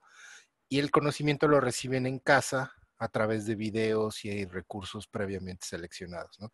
Entonces, eh, los alumnos reciben videos, reciben conceptos, ven, información que pueden estar repitiendo constantemente y llegan al aula ya más bien con preguntas, con la necesidad de aclarar los conceptos, ¿no? Digo, por explicarlo rápidamente. Justo. Excelente. Y flipping el aula invertido es una manera, una de las mejores maneras de organizar un aula invertida. Pero tienes que estar bastante cómodo con tu materia para hacer esto, porque los chicos vienen bien pilas, porque ya conocen uh, la información básica, llegan a la clase con dudas y preguntas, y es bastante más profundo la experiencia. Jairo, por favor. Bueno, muchas gracias a cada uno de ustedes, igual a los participantes. Este, como decía al inicio de la clase, este, bueno, yo trabajo en una institución que es netamente rural, con gente indígena. Eh, la situación para nosotros, o sea, vivir la realidad en carne propia es distinto. Magnífico las clases que he recibido hoy, esta tarde, este, la educación virtual. Creo que es verdad, nos sirve como docentes para nosotros igual incrementar nuestro conocimiento, mejorar nuestro, nuestra forma tal vez de trabajo en las aulas, pero la realidad institucional es difer- diferente. Por la situación en la que estamos atravesando actualmente en nuestro país, este, lamentablemente estamos eh, sin poder acudir a nuestras instituciones. Entonces, obviamente el Ministerio de Educación, nosotros que nos ha dicho que contactemos con los estudiantes para nosotros eh, dar clases, de alguna manera llegar con los materiales y todo. Pero lamentablemente, créame, este, hoy día nosotros hemos tenido una reunión con el rector de la institución, pero lamentablemente creo que todos los docentes no hemos, así en un cálculo, di- digamos, no hemos alcanzado ni siquiera a, a informar o a dar a conocer qué actividades tienen que realizar los estudiantes ni a un 30%. ¿Por qué? Porque primero, eh, en las comunidades donde viven los estudiantes, muchos de los estudiantes no poseen celulares. O si en caso de que posean celulares, hay lugares que tampoco tienen señal. Y peor, acceso a Internet. Entonces, y digamos, aún peor, un acceso a la computadora, porque muchas de las veces sí, sí, o sea, sí existe bastante pobreza en el sector indígena y netamente allá en el campo. Entonces, visto toda esta situación, no sé, el gobierno debería trabajar de alguna manera, ¿para qué? Para llegar a, esos, eh, a esas comunidades y también facilitar. Y así nosotros, docentes, igual nosotros podríamos poner en práctica nuestros conocimientos. Eh, es verdad, nosotros podemos eh, tener eh, una metodología excelente, utilizar los medios, los recursos tecnológicos, la- las clases virtuales y todo, pero la realidad de los estudiantes es distinto, entonces, o sea, nos limitamos en eso. Eso fue mi participación, mi estimada. Es excelente tu observación. En Ecuador, solo el 39% de la gente de las casas tienen internet. Y es una conversación que hemos tenido largo con la ministra y um, una solución que encontramos en diciembre pasado, que no sé si todavía está en discusión, pero existe una cosa que se llama Rachel, que es Remote Access, o sea, es, es un disco que proyecta Internet. Y también adentro del mismo, o sea, eh, eh, parece un, un pie, o sea, parece una cosa chiquita de ese tamaño, pero tiene una tera de información y proyecta afuera. Una idea eh, cuesta 400, 399 dólares. Y una de las ideas era de poner en las escuelas rurales para que por lo menos proyecta afuera. Después viene la discusión. Entonces se puede pedir a Movistar o algún otro que, que pueden de, donar uh, los aparatos usados o algo así. Se pueden crear ese espacio para que todo el mundo pueda sí tener internet y sí tener contenido y sí tener acceso entonces, eso ha sido recién en los últimos meses que literalmente existen estas opciones.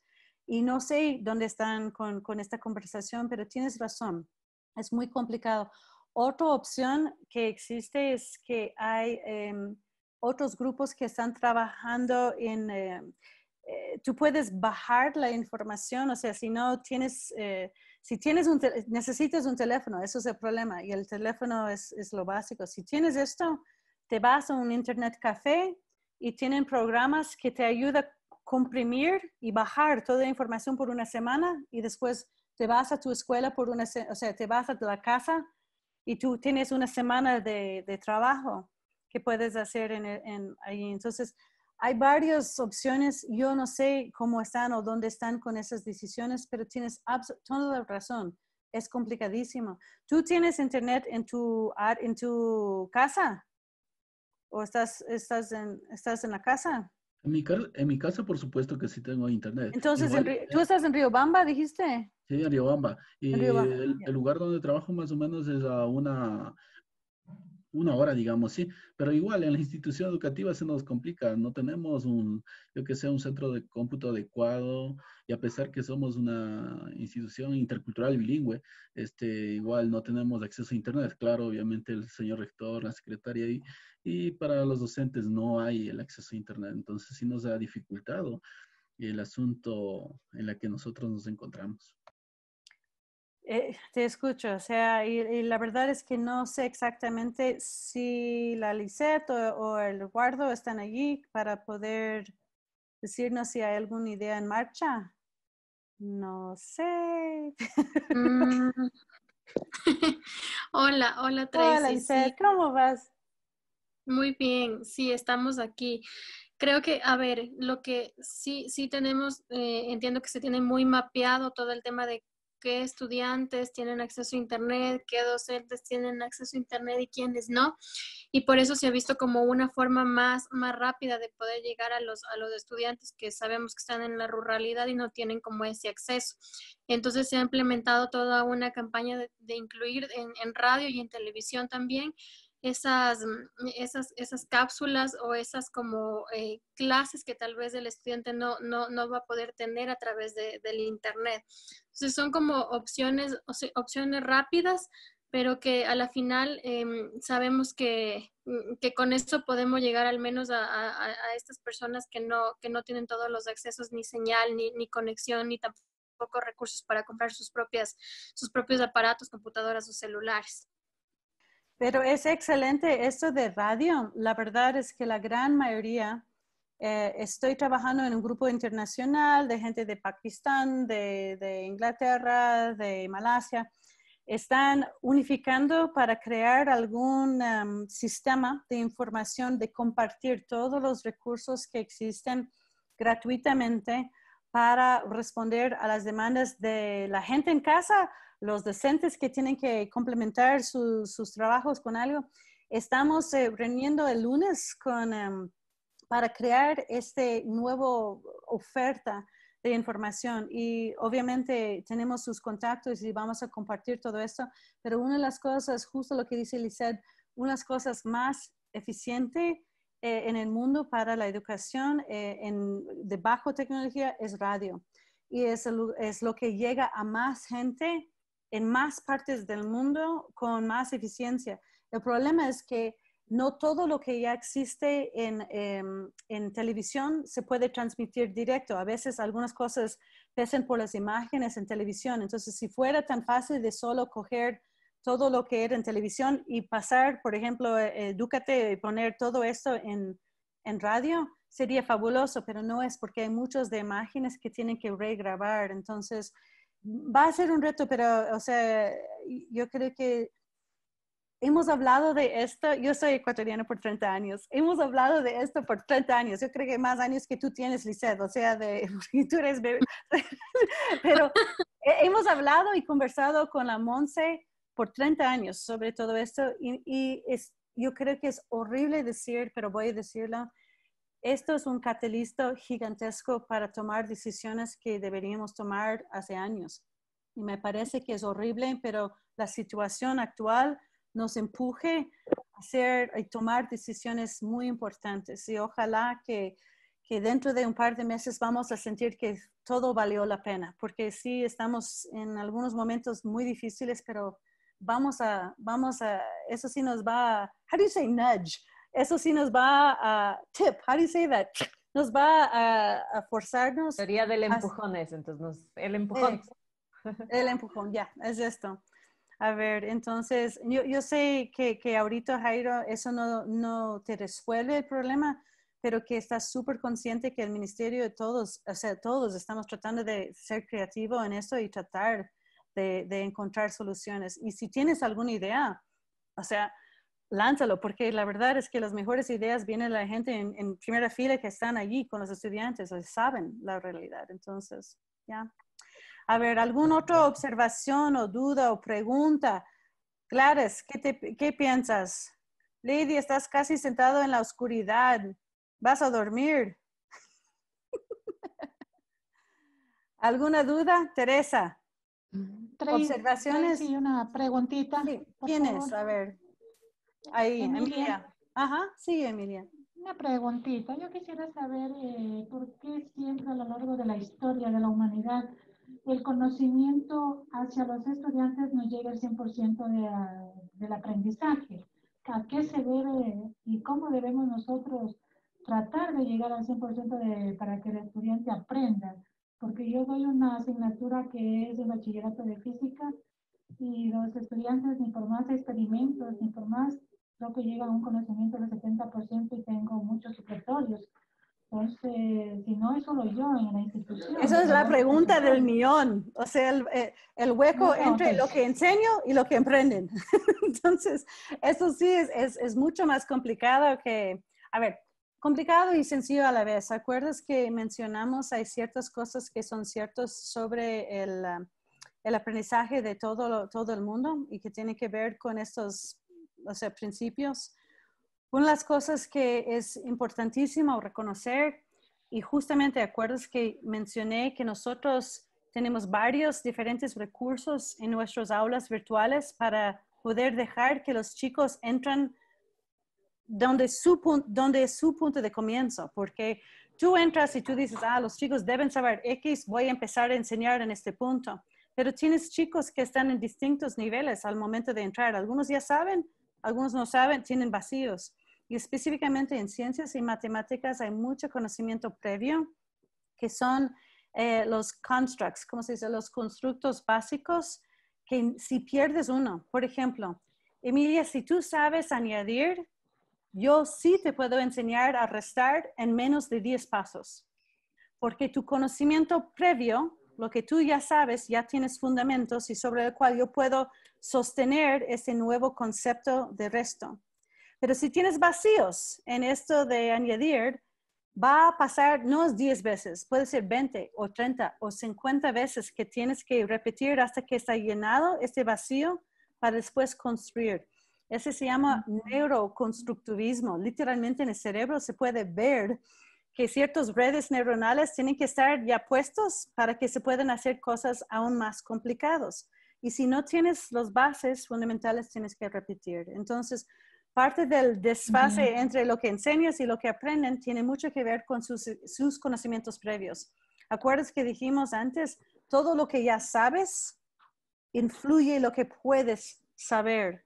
Entonces, todo el conocimiento previo, o sea, está usado como un filtro. Todo el nuevo pasa por el filtro de conocimientos previos. Y si no tienes las bases, no vas a poder. Entonces, parte de esto es crear es mucho, es por, por otra conversación más largo sobre el diseño universal de aprendizaje. Cynthia, ¿tienes una manera más clara para describir qué es Universal Design for Learning? ¿Por qué, por qué nosotros, nosotros cuando construimos nuestras clases, creamos esas mini bibliotecas sabiendo, aceptando, o sea, totalmente seguro que ninguna persona va a entrar en el mismo nivel. Por eso tenemos la, o sea, los bandos. ¿Puedes explicar esto, Cintia?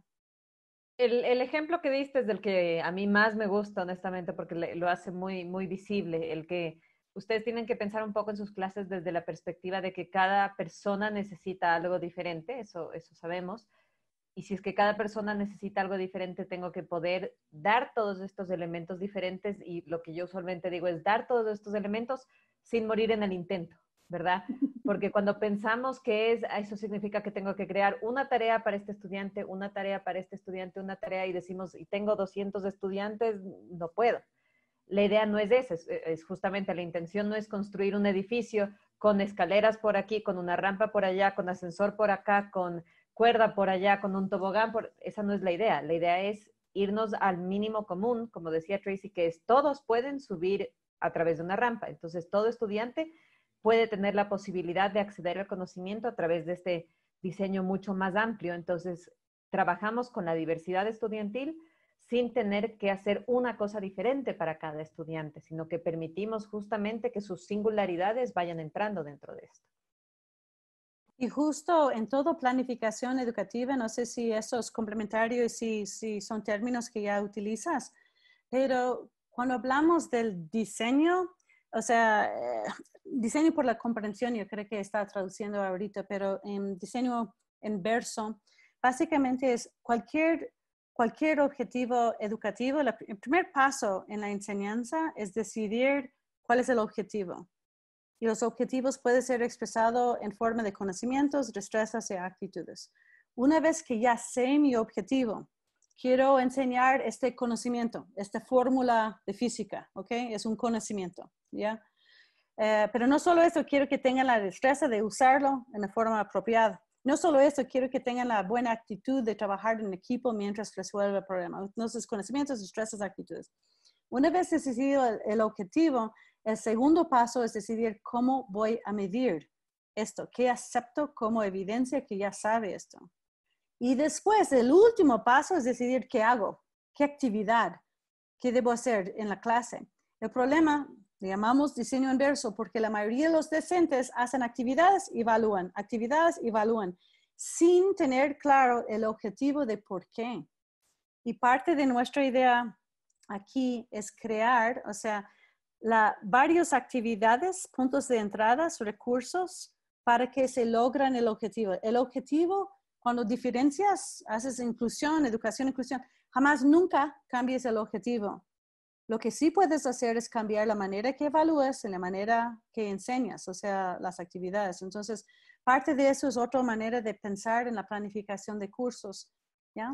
Entonces, a ver, otras dudas. Y, a propósito, Emilia, hay varios videos sobre cada uno de los puntos. Diseño inverso, sobre todo, todo eso está en nuestra página web, entonces está allí subido, gratuito, utiliza la autoeduca y después cuando tienes preguntas nos escribes, porque es un reto típico común del docente. Yo sé que debo enseñar, pero si no conoces tu gente, no sabes lo que necesitan. Si no conoces tus sus experiencias previas, no puedes utilizarlo. Si no crees en su plasticidad, que sí están aprendiendo poco a poco, pero a veces no ves los cambios. Si no entiendes esas cosas, la verdad es que nos frustra porque nos sentimos que, pero yo enseñé porque no aprendieron. Hay que aceptar que cada individuo va a traer otras cosas y hay que modular nuestra enseñanza hacia esto. Esta parte, la decencia es el trabajo más difícil en la sociedad, punto. Y nosotros tenemos el cerebro que tenemos que entender y manejar, es el órgano más complejo en el universo. Entonces yo creo que tenemos el trabajo y en este momento la sociedad nos, o sea, depende de nosotros tanto porque tenemos que ser flexibles también y es complicado, súper complicado, ¿ya? A ver, uh, sí, a ver. Muchas gracias. a ver, era Emilia y después era quién y después Gabriel. ¿Quién era el siguiente? Después de Emilia era otra persona que dije, ¿no? ¿Quién dijo que tengo una pregunta? Yo, yo tengo una pregunta. A ver, Silvia y después Gabriel. Silvia, ya. Bueno, es que tengo dos, bueno, más bien son dos. Una, ¿cómo hacer como para, para controlar la impulsividad de los niños cuando estás trabajando en línea? Porque esa, como que pueden, eh, esas, ¿qué estrategia nos darías como para trabajar con ellos? De que aquí estamos como que todos muy obedientes y bien portados como adultos, pero luego los niños reaccionan de una manera muy errática y entonces yo me imagino que hay que establecer reglas como las que me encantó que pusiste al principio de la pantalla, pero ya estando lidiando en las primeras experiencias, me imagino que ha de ser complicado. ¿Qué nos recomiendas? Y otra pregunta es con adolescentes, cuando ellos nada más están esperando tener el grado. Y entonces tú preparas tu clase y le pones mucho esfuerzo y tu planeación y todo, pero el niño realmente no, no, no logras ver que el niño verdaderamente está motivado o tiene una actitud positiva ante, ante, lo, que, ante lo que tú le estás ofreciendo. Entonces, tres, tres puntos que, que, acabas de decir, ¿no? Entonces, el primero es, em, a ver, te voy a decir y tú me vas a contestar. Número uno es que la gente, los estudiantes, la gente llegan al nivel de expectativa de uno. Si yo presumo que vas a engañarme, si yo presumo, si tú, se comunico que yo no te confío en ti, si hago esto, entonces tú simplemente no cumples. Pero si yo comunico que yo sé que ustedes van a cumplir con eso, que ustedes son fabulosos, yo sé que eso es un grupo excepcional, que van a poder hacerlo. No sé si ustedes acuerdan del estudio de Pygmalion Effect. No sé si es- escucharon de esto. Pygmalion. No, how do you say that in Spanish? Pygmalion, Pygmalion. Fue, fue en los 68, 70. Ahorita es totalmente no ética. No podemos hacer esto ahora, pero, pero era fabuloso porque me llegué a la clase de Silvia y le digo, Silvia, déjame ver quién está en tu clase ahorita. ¡Ah! este año tienes él, ¡Ah! tienes Miguel, uy, y también tienes Pedro.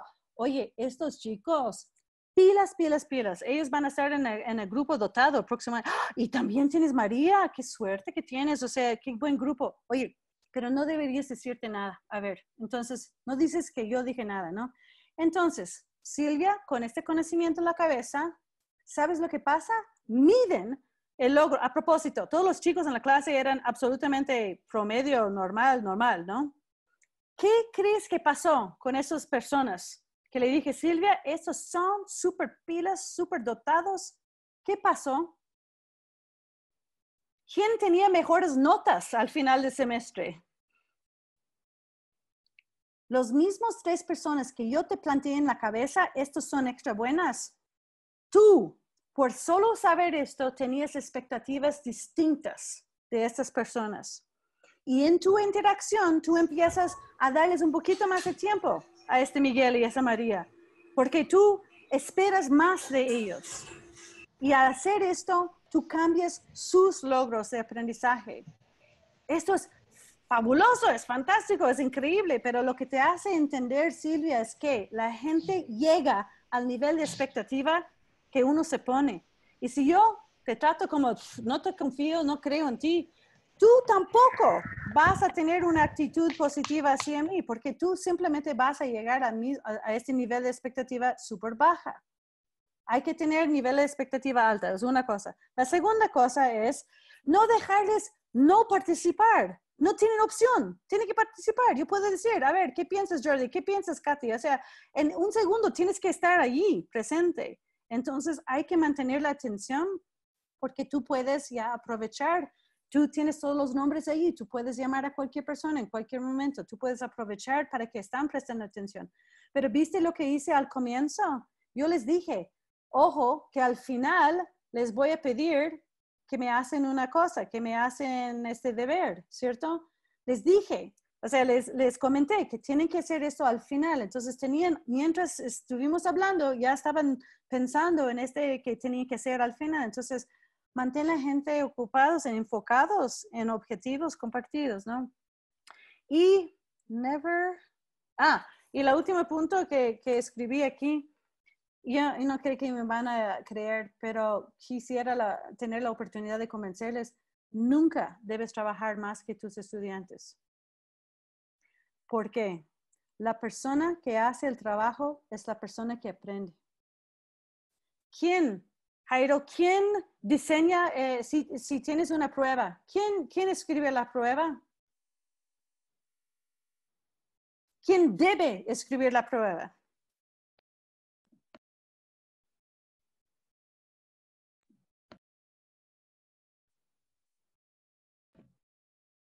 ¿Sí? ¿Me escucha? Sí. Ya. Este, en este, para diseñar la prueba, obviamente, el docente es el responsable de... ¿Por qué? Si mi objetivo es que aprenden, ¿qué pasaría, Edwin, si yo te digo, a ver, chicos, vamos a tener una prueba el viernes, ¿ya? Todos me entregan tres preguntas que creen que va a ser en la prueba. Si utilizo tu pregunta, te voy a dar un punto más. ¿Qué creen de esto? Fabuloso. Yo no tengo que hacer el trabajo. Ellos tienen que revisar la información. Ellos empiezan a revisar. ¿Qué puede ser que va a preguntar? Uy, yo creo que va a ser no sé qué. Ellos revisan. Ellos me hacen el trabajo, o sea, el deber. Ellos trabajan, ellos aprenden. ¿De acuerdo? La persona que hace el trabajo es la persona que aprenden. Si ustedes están matándose, creando las pruebas, ustedes están aprendiendo mucho, pero no están aprendiendo los chicos.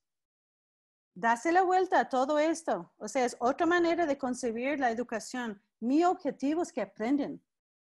No es que quién domina o quién está encargado del examen. Tengo que mantener todo escondido. Me parece ridículo, perdón, pero he pasado 30 años tratando de entender la, la lógica que aquí la gente toma el examen, entregan, jamás nunca ven sus fallas, jamás nunca saben lo que puede mejorar.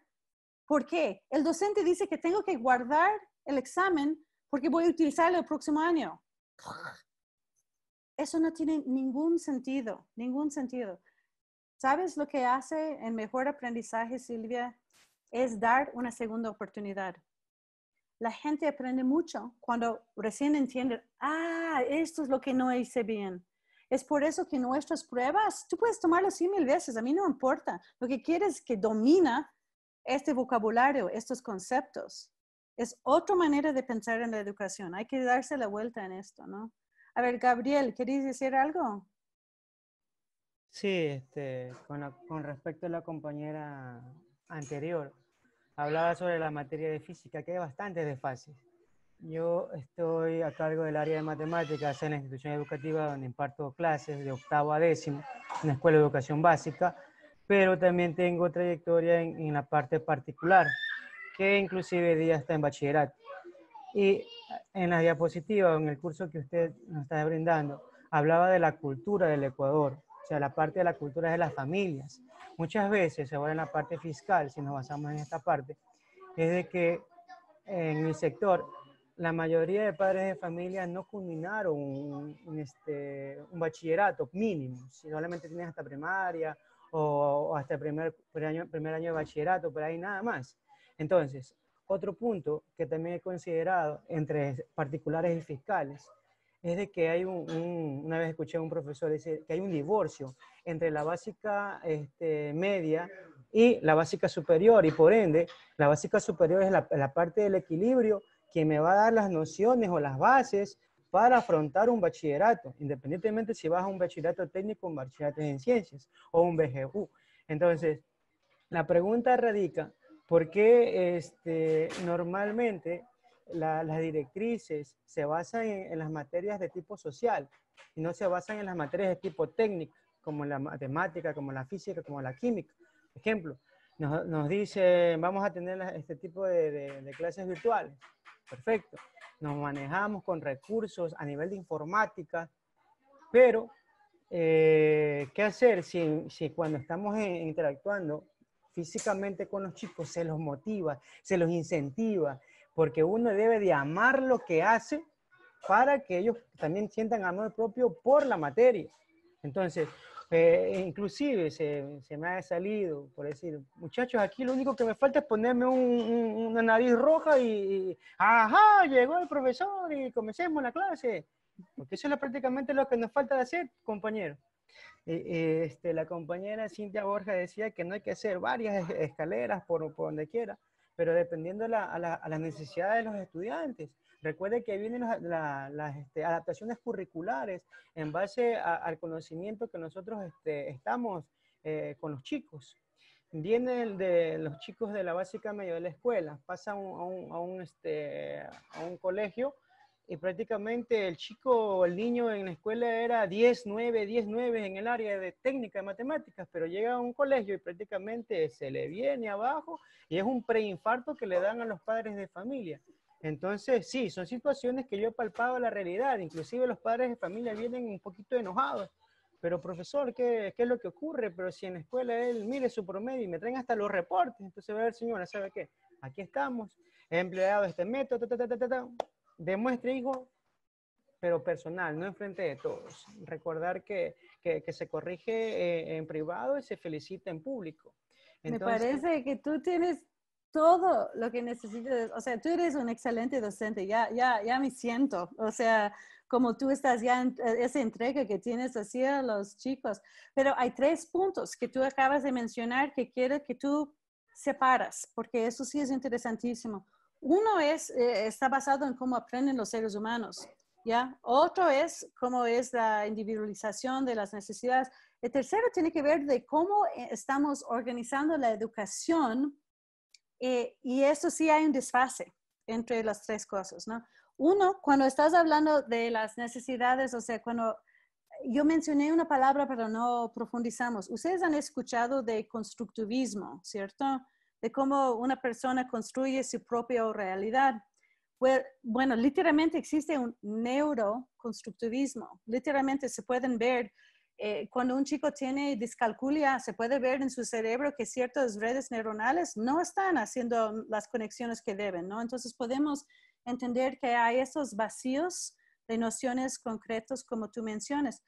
Y no hay, eh, no se puede simplemente pasar sobre estos. Si no llenas ese vacío, el chico va a seguir siendo más y más y más y más y más atrás a lo largo. Entonces, por eso que la única cosa, eh, hubo en algún momento en los 60 el movimiento hacia la maestría. ¿Qué es la maestría? Que un chico no solo aprende algún concepto, simplemente tiene que mostrar maestría, dominancia, que domina este tema antes que pase al siguiente. Y eso fue la idea para poder tener este nivel, o sea, esta manera de construir el conocimiento en una forma bastante lógica.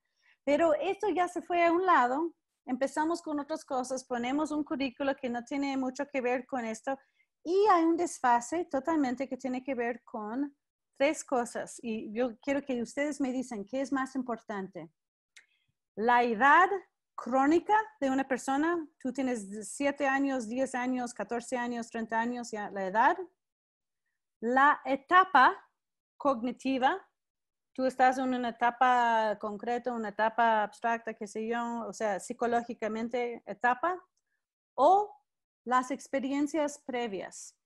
¿Cuál de esos tres tiene más importancia en el aprendizaje de una persona? ¿Alguna idea? ¿O cuál tiene menos importancia? ¿Tienes, ¿Tienes alguna idea de los extremos, por lo menos? ¿Sería la edad? Para mí La sería edad es a la etapa cognitiva. menos- la edad es lo de menos importancia. De mí No importa cognitiva. cuántos años, no importa qué, qué edad tienes. Lo más importante, de lejos, son tus Las conocimientos, tus experiencias previas. Lo que ya sabes influye en lo que puedes saber. Tus experiencias previas son muchísimo más importantes que tu edad. Pero somos locos en la escuela, dividimos los chicos por las fechas de nacimiento y pensamos que eso es lo, lógico. Es lo menos lógico, lo menos lógico. La edad de una persona no tiene mucho que ver con su potencial. Hay chicos que llegan a la escuela tres años listos a leer porque Ainer en tu casa le han leído miles de libros y el chico se siente bien y quiere leer. Y otros que jamás nunca han tocado un libro hasta que son nueve años y han ido a la biblioteca a la escuela. Entonces sabemos que las experiencias previas tienen mucho más que ver con el aprendizaje que la edad de una persona. Y eso debe ser, Gabriel, la indicación de cómo debemos construir educación, pero no lo hacemos. No lo hacemos. Hacemos por edades, y eso sí le causa un problema gravísimo. Entonces, tú mencionaste que hay una falta de alineación o que no, hay, no está alineado ciertos niveles de educación. Y es cierto, no estamos hablando entre nosotros. El primer grado no está hablando con el segundo, tercero, cuarto.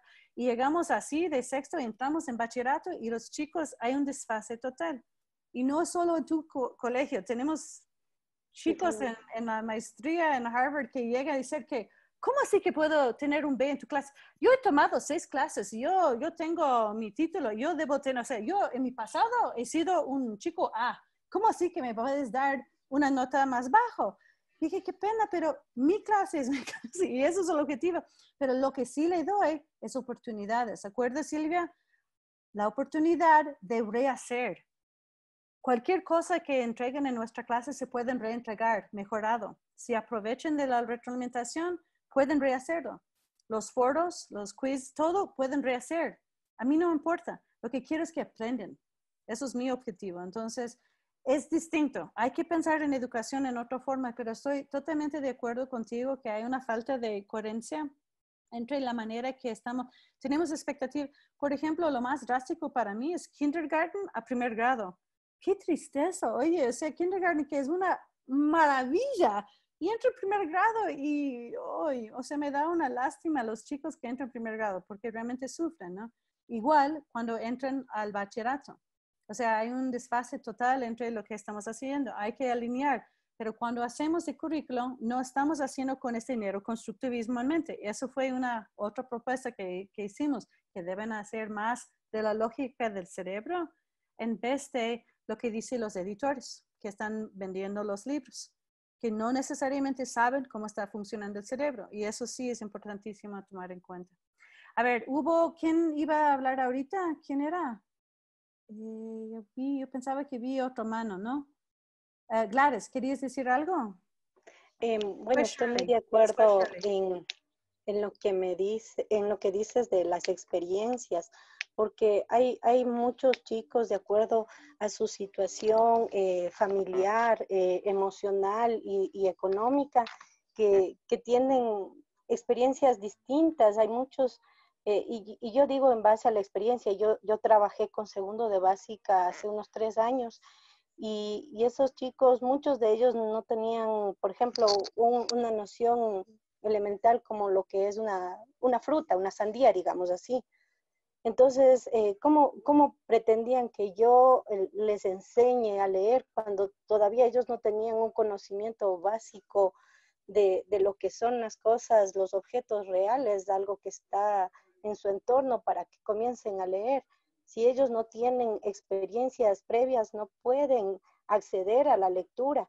Y, y- y esas son las, las cosas que, que no toma en cuenta este, este modo de currículum que tenemos ahora, eh, en donde no, no importa cómo estén los estudiantes, siguen avanzando en los años eh, y, y hay que hacerlos pasar porque si no, el, el que tiene problemas es el, el profesor porque a él le, le llegan las amonestaciones, que demuestre que ha hecho, que esto, que lo otro, cuando no es así, hay eh, es- personas o estudiantes que emocionalmente no están preparadas para, para estar en cierto nivel, así tengan la edad que tengan. Hay, hay, hay varias cosas que, que tú mencionas y quiero destacar algunos cuatro. Uno es, debes estar absolutamente feliz que estamos yendo en línea. ¿Por qué?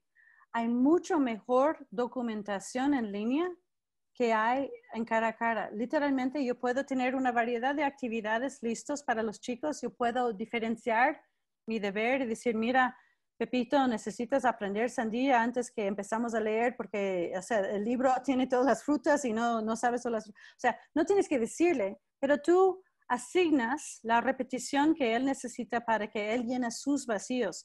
Y podemos documentar exactamente si él visitó esta página, si vio esta información, si tenía, visit- o sea, usó esos recursos, ¿no? Entonces hay mucha más documentación. El segundo punto más importante y más global de lo que mencionas es, tienes absolutamente toda razón. Nuestra realidad es que hay muchísimos padres y madres de familia que nunca terminó eh, primaria y ellos no están en condiciones de ser modelos eh, y es por eso que llevas tú como docente un peso bastante más importante en la vida de ese chico. En los estudios, o sea, revisando el impacto de educación en las vidas de algunos estudiantes, se pueden ver, hay algunos estudios, sabemos que no solo tus genes que te hace quien eres, tampoco es solo tu ambiente, también es el poder de decidir, de, decidir que yo voy a ser mejor, yo voy a aprender esto. Entonces, esa voluntad propia es algo que es importantísimo. Pero ¿de dónde sale todo esto? En los estudios en los Estados Unidos, en la parte de la gente donde viven más pobres, o sea, aún peor que vivimos en ciertas partes del Ecuador, o sea, esa gente se encontró que algunas personas con males genes, o sea, literalmente los papás, o sea, drogaditos, la mamá, o sea, tomó, o sea, alcohol cuando estaba embarazada, o sea, tenían la probabilidad de nacer bien está mal. Mal barrio, o sea, el ambiente donde nace es un barrio pobre, pero el chico todavía sale, sale bien y se van estudiando por qué ciertas personas logran tener ese nivel de resiliencia. Y en la gran mayoría de los casos es porque una persona, una persona se metió en la vida de este chico y le dijo, mira, oye Marco, tú vas a ser, tú vas a ser bien, tú vas a ser un éxito en la vida, tú vas a ser diferente, vas a ser, vas a ser importante para todos. Y en general encontraron que esta persona era un docente un docente que le hace la diferencia en la vida de ese chico, simplemente le hace creer en sí mismo, le hace salir de la expectativa, de esta normalidad, de, del bajo expectativa. No, yo espero mucho de ti, yo creo en ti. Y eso es donde nace resiliencia. Y normalmente viene de una sola persona y un docente. Eso sí es importantísimo y es algo que casi no aprovechamos eh, como docentes de entender tenemos un poder. Tercer punto es esto, Gladys. Tú tienes un poder que no entiendes. Tú tienes un poder con unas palabras tuyas, tú puedes cambiar la vida de este chico, por bien o mal. Pero al no tener esos bases, podemos pasar, hay, hay lo que llamamos eh, círculos de influencia. Podemos quejar, quejar, quejar que los papis no han leído, que la gente es pobre, que no, o sea, eso está fuera de tu alcance a cambiar. Pero lo que tú puedes controlar es dentro de tu ámbito, tu aula, lo que tú haces con este chico. Ahorita los recursos son miles y gratuitos. Podemos encontrar, o sea, si tomas el tiempo de encontrar la variabilidad de, de recursos necesarios por este chico pobre que jamás nunca ha visto un fruto más de, de una papaya y no conoce nada más, ok, yo voy a encontrar recursos que le llenen este vacío para que empiece a tener eh, vocabulario y después sabemos, ustedes saben, que la mayoría, eh, hay, un, hay un estudio horrible de Hart and Risley que muestra que los niños en condiciones de pobreza entran con casi tres, es tres o cuatro, Cintia, millones de palabras menos que un niño rico, un niño que tiene libros en la casa o, papás que hablan con él. Entonces, si un niño entra en tu clase, en tu curso, con una pobreza de vocabulario, simplemente porque nadie ha hablado con él, nadie ha leído, tenemos que decidir qué hacemos. Podemos decir, es problema de los papis, el país está, es un problema, yo no puedo hacer nada, o tú puedes decidir, yo voy a hacer el cambio, yo voy a hacer esta diferencia en la vida de este chico. Yo voy a tener los recursos necesarios, yo voy a llenar ese vacío que qué pena que los papis no lograron hacer. Yo sé, es complicado y tenemos que tener ese, es horrible, tenemos un peso horrible como docentes, no nos pagan bien, no nos respetan bien, pero tenemos el trabajo más importante en la sociedad. Tenemos que simplemente decidir estar feliz que estamos haciendo diferencias en las vidas de las personas, porque no hay repago que es suficiente por alguien que tome el tiempo de llenar esos vacíos. A ver, Shirley, Gisela y Diana. Shirley, sigas. Ah, tienes que abrir tu micrófono, estás en mute, tienes que... Exacto. Hola, hola, buenas tardes. ¿Cómo estás? Algo importante y novedoso para mí en esta experiencia de esta tarde, muy importantísima. Este, era lo que usted dijo en antes, que los niños escriben sus pruebas. me gustó esa idea porque nosotros estamos acostumbrados a, a escribir nosotros las preguntas cuando nos pide el director o el, sub, el encargado de lo que es los instrumentos curriculares, nos dicen, bueno, en tal fecha vamos a revisar los instrumentos curriculares, por favor, maestro, prepárese. Y nosotros nos ponemos cabezones de que tenemos, por ejemplo, los que trabajamos con niños en la básica media, todas las áreas hay que dar y usted sabe, cuatro materias, son diez preguntas, a veces quince, y ese pocotón de preguntas nos alocamos en escribir preguntas. Pero ahorita me gustó esa idea que usted dijo, que los chicos escriben sus, sus pruebas. Y yo le digo, y está bien que los chicos los escriban, porque a manera que ellos escriben sus preguntas, depende de que nosotros les, cuántas preguntas les hagamos en la clase. Entonces, nos facilita a nosotros como docente acumular esas preguntas que ya nos tocaría solo un poquito moldearlas y de esa manera nos ahorramos de estar sentado, escribe y escribe y escribe, sino que nos basamos en las preguntas que los chicos han hecho. Pero también, ¿sabes lo que hace Shirley? Te hace, es una prueba de ti. ¿Por qué? Si los chicos todos tienen las mismas tres tonterías, es una reflexión de nosotros. Entonces es fabuloso hacer esto porque vas a poner mano en el pulso. Por ejemplo, si todos ustedes me mandan los 3, 2, 1 y yo ven que lo que aprendieron eran lo, del mínimo, y yo voy a decir, ay, entonces, ¿qué es lo que yo necesito hacer la próxima vez? Porque no captaron lo más importante. Es una prueba a mí, ¿cierto? Entonces, eso es lo mejor, porque cuando tú pides que los chicos generen las preguntas, tú vas a ver el nivel y la calidad de sus conocimientos y vas a poder juzgarte a ti misma. Y eso es fabuloso porque nos vamos mejorando, ¿cierto? Y también sería una forma de evaluar mi clase en ese momento. Así es, así es. No, ojalá que o cuando ya tienes resultados. Quiero escuchar cómo te va. a ver, Gisela. El curso de... Gisela. Hola, buenas noches con todos. Bueno, yo, yo estaba pensando en algo que, dijo Silvia y que recalcó usted, que nunca eh, debemos trabajar nosotros tanto, ¿no? Y en mi forma de pensar, o sea, yo quisiera hacerles reflexionar a los padres y que ellos entiendan que ya no es el tiempo de antes, que el profesor se paraba y explicaba toda la clase y pasaba todo así, después solamente tenían que copiar o se les dictaba. Y los papitos están acostumbrados a este tipo de enseñanza. Entonces es súper duro hacerles entender a ellos que los niños ahora necesitan participar más en clases, investigar. O sea, yo les, yo por ejemplo, me gusta que mis niños investiguen, que ellos traten ellos mismos de, yo por ejemplo les cojo, les explico un poquito o les empiezo a preguntar y me gusta que ellos actúen en clase, pero los papás se quejan, dicen que no, que nosotros los maestros lo que debemos hacer es pararnos en la pizarra, escribirles para que ellos copien o dictarles.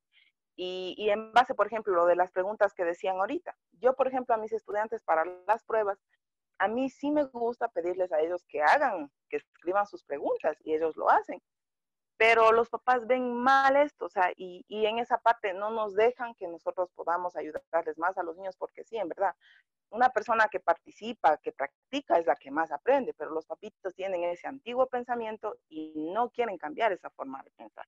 Entonces hay que educar a los papis mejor, o sea, eso es lo que dices, ¿ya? Pero aquí viene, eh, eh, eh, muéstrales, un, diles que, mira, si quieres yo te doy una carpeta de información que apoye esto, pero cuando tú si mi objetivo en la educación es que solo pases un examen, sea, eso para mí es bien triste, bien triste. Y tenemos, pero sí, si mi objetivo es para que tú aprendas a pensar en forma crítica, tú eres un pensador crítico. Si ese es mi objetivo y tú puedes mostrarles que en este documento del Ministerio de Educación de 2016, el perfil del bachillerato que yo escribí, entonces pon, ahí dice, una de las características, pensadores críticos. Si estamos buscando pensadores críticos, aquí muéstrales a los papis, tú sabes que la gente que aprenden a pensar críticamente casi siempre hacen bien en los exámenes. Pero si solo enseñas el examen, no aprenden a pensar críticamente. Entonces, tienes que decidir cuál es el objetivo. ¿Que solo pasen un examen o que aprendan a pensar a lo largo de la vida? No, que aprendan ellos a participar, a investigar, ellos, ellos, eso es. Muy bien. Ahí esa es la parte que yo quiero que los papitos entiendan. Ya tengo un poco de problemas con ellos, pero... Muy bien. Yo quisiera que tú eres, o sea, docente de mis hijos, porque me parece que tú tienes las prioridades muy claras. El problema es, o sea, hay que, nosotros tenemos que mantener firme cuál es el propósito de mi curso. Mi curso es para, o sea, lo que tratamos de exigir a los docentes a pensar, si tú ves el perfil de ese, ese eh, eh, graduado, tú tienes que pensar, ¿cuál es mi granito de arena? ¿Qué estoy apoyando para ese tipo de persona que todos buscamos? Una persona solidaria, una persona pensador crítico, una persona... O sea, ¿qué estoy haciendo yo para contribuir a esto? No solo qué estoy haciendo para que pase el examen X de grado de mate, o sea, hay que pensar más allá, más allá de esto. No, estoy de acuerdo claro, nosotros necesitamos, como nosotros pasamos bastante tiempo con los niños, nosotros necesitamos formar a unas buenas personas. Entonces, aparte de, enseñarles valores y ayudarles a que pongan en práctica esos valores, sí, o sea, el pensamiento crítico, que ellos actúen, que investiguen, o sea, que no esperen todo cocinadito, servidito, sino que ellos no busquen. Yo creo que eso es, para que ellos sean unas buenas personas en sí, es algo que sí se necesita. Muy bien, estoy muy de acuerdo contigo, muy bien. le voy a jalar, este, le voy a poner el perfil por si acaso, si no han leído. Esto sí es para que muestren a los papis. Mire, eso es lo que estamos tratando de hacer. Y mi trabajo en esto, yo estoy ayudando a formar esta persona que todos estamos buscando como país. Entonces, ojalá que estás de acuerdo, papis y mamis, apóyeme a mí con este, con este reto, ¿ya? Muy bien. A ver, Diana, ¿tú tenías una, un comentario, una pregunta? Sí, buenas noches, gracias. tengo yo una, eh, una esperanza en todo esto y me gustó mucho una parte de la pregunta cuando dice una cosa que cambiaría. Y no, no piensen que yo soy, ah, qué positiva eso, ¿no? Pero me encantó la palabra, la neuroplasticidad, porque en verdad eso me da esperanza me da esperanza. Es un contexto súper difícil en el cual nosotros trabajamos. Yo trabajo en una escuela en el sur de la ciudad de Quito, un contexto socioeconómico bien complejo, muy, muy complejo, poco, poco mm, apoyo de los padres de familia. Pero les quiero decir esto, me ha pasado algo bien interesante. El Ministerio de Educación durante dos años me permitió eh, trabajar en las mentorías con el Banco Interamericano de Desarrollo. Y fue una experiencia tan enriquecedora y me gustó mucho algo que me dijeron al inicio, tienes que cambiar el chip. Y tienes que cambiar el chip. Y eso me costó lágrimas, así les puedo yo decir, me costó mucho trabajo poder entender y ahora me han refrescado muchísimas cosas y agradezco tanto algo que también ahora explicaron acerca de, y un compañero lo dijo, que no, Jorge me parece, bueno, no recuerdo el nombre de él, pero es verdad la pregunta que hizo Tracy. Debemos nosotros aprender cómo funciona el cerebro de nuestros niños. Yo soy maestra de tercero, de tercer año de educación general básica en este año y me ha pasado algo bien interesante, espero que no, no me malinterpreten. Yo estoy por ahora por ahora, hasta el día de hoy que hemos llegado a la cuarentena, estoy feliz en esta modalidad. Me siento feliz porque yo le veo, mi hija estudia en la universidad, ella está bombardeada de tanta información, de tantas lecturas, tantas pruebas que da, tantas clases. Ella tiene de mañana, tarde, noche, sábado y domingo tiene pruebas. Pero yo, por mí, les digo, yo me siento feliz ahora con esta modalidad porque eh, me ha sucedido esto. He tenido que planificar guiada en la planificación general del ministerio, pero le hemos adaptado con los siete paralelos que somos de los terceros para adaptar esa planificación a lo que en realidad nosotros queremos. Y me ha gustado mucho porque eh, hemos podido hacer una planificación donde tienen que ver los niños videitos, videos cortitos de un minuto, dos minutos máximo, tienen que eh, bailar una canción, algo que está ahí en educación, en, en estudios sociales, para que recuerden un poquito el contexto, porque tenemos muchos niños de contexto indígena. Tenemos muchos niños. En este año a mí eh, vinieron eh, tres niños que vienen de la costa de Guasmo y me tocaron estos niños, pero son unos preciosos. Yo no sé cómo, cómo, no sé, no se han contaminado de ese ambiente de esa forma. Y ellos vienen también con esa esperanza a la escuela. Entonces a mí eso me sabe conmover, unas cosas así tan pequeñitas. Y si nuestro objetivo es que los niños aprendan, entonces hoy día me, me hicieron recordar esto. Mi objetivo es que aprendan. ¿Qué he hecho yo ahora? Les he enviado la planificación a los niños y no soy solo yo, somos siete paralelos del mismo tercer año, ¿no? Porque es una mega escuela. Y hemos enviado los videos y este tiempo a mí me ha dado oportunidad para llamar, para llamarles por teléfono, hacer lo que yo he hecho en la mentoría, llamar por teléfono, darles seguimiento y preguntar, ¿y cómo estás? Y los niños me envían un mensaje de audio, hola, profe, ya quiero verle, ya quiero que vuelva, ¿no? Entonces, cositas así de niños que yo no he esperado, que he tenido dificultades con los papás. Comparto con las compañeras lo que dicen.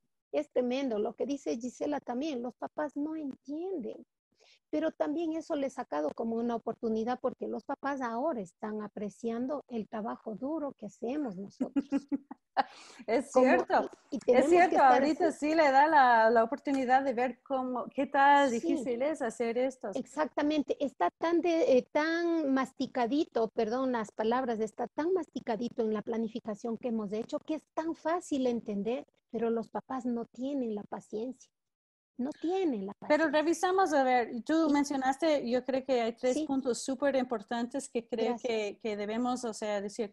Tú mencionaste eso de la plasticidad, pero lo que es importantísimo es aceptar y entender, el cerebro no puede no aprender. Es la naturaleza de, de nuestros cerebros aprender para la adaptación, la evolución. Depende en el aprendizaje. Pero el cerebro no aprende a un nivel alto, no, no aprende las cosas de metacognición, de aprender a aprender sin guía. Eso es importante. Y ahora, sí, y ahora iba eso justamente al andamiaje que nosotros damos, porque ahí vamos nosotros a ver en realidad cuando regresen los niños va a ser nuestro reto porque ellos han realizado las bellísimas planificaciones que les hemos enviado. Tal vez mucho hizo mamá, papá, poco hizo los niños, pero ahora vamos a retomar, vamos a tener que reforzar esto. Y me, lo que me he perdido en este tiempo, en realidad, que no se les ha visto a los niños que yo aprendí en las mentorías, es a preguntarles todo el tiempo, ¿y por qué respondiste eso? ¿Y por qué dices eso? ¿Y por qué? ¿Y por qué? Y me, y me he tenido que cambiar el chip haciéndome persona de tres años para yo preguntar, ¿y por qué? ¿Y por qué? ¿Y por qué? ¿Y por qué? Todo el tiempo. Entonces ahora ya tengo eso de regreso, después de esto que he escuchado ahora, cuando podamos volver preguntar esto a los niños. Me encanta mucho esto de las experiencias previas porque en realidad en mi caso, en mi casa un día y me llamó la atención la profesora de mi hija, me dice, estamos viendo el ciclo de vida de eh, de las aves, de la gallina, de los pollitos. Y mi hija había dicho, entre las preguntas de la maestra, ¿y de, dónde vienen los huevos? Y mi hija dijo, perdón, ¿qué me refiere? Ella dijo del Supermax. O sea, qué dolor, ¿no? Qué, qué, qué feo. Hija de docente me llamaron la atención a mí. Entonces, a enseñar a la hija de dónde vienen, cómo es ese proceso en vivo. Y eso es una ganancia que tenemos con nuestros niños de contextos no tan favorecidos económicamente, que ellos sí tienen esas experiencias previas. Es un poco más fácil para que ellos entiendan y siempre eh, permitirles que los niños se equivoquen, permitirles que los niños den una respuesta distinta, porque en realidad ahí va a estar nuestra clase, en esa respuesta diferente. Eso Muy bien. Yo creo que hay tres puntos que quiero rescatar también de esto. Uno es que las cosas están, si ustedes están aceptando que los papás están haciendo los deberes de los niños, aprovecha de en línea, se puede evitar eso. Aprovecha, porque hay mucho mejor documentación, se pueden crear los e-portafolios, se pueden ver cómo desarrollan las actividades, es importantísimo. Segundo es que si solo están utilizando pruebas ¿Acuerdas que dijimos que todo el aprendizaje es conocimientos, destrezas y actitudes? Todo lo que aprende cualquier persona es conocimientos, destrezas y actitudes. Pruebas solo están, a ver, ¿qué es lo que puede ser una prueba? ¿Qué nivel de aprendizaje? ¿Conocimientos, destrezas o actitudes? ¿Qué nivel? Es solamente conocimiento. Es solo conocimiento. Y perdóname, Google tiene ese conocimiento. Entonces, si es googleable, no desperdicies tu tiempo haciendo todo eso, porque se puede encontrar la información en el teléfono. Entonces, hay que aprovechar, o sea, eso del flipping o lo que sea, para que se puedan profundizar en la información, no solo los datos, fechas y hechos, o sea, no solo googleable la información. Entonces, si solo están pasando, evaluando, utilizando solo pruebas, están haciendo un nivel absolutamente superficial de lo que es el aprendizaje. Tienen que crear otros o usar otras herramientas en este sentido. Y la otra es hacer otra, dos cosas más. Em, uno es que deben aprovechar de Zoom. Zoom es gratuito por 40 minutos hasta 100 personas. Si ustedes quieren mantener o tener eh, entrevistas con los padres de familia o explicarles a los papás, mira, eso es lo que vamos a hacer en línea.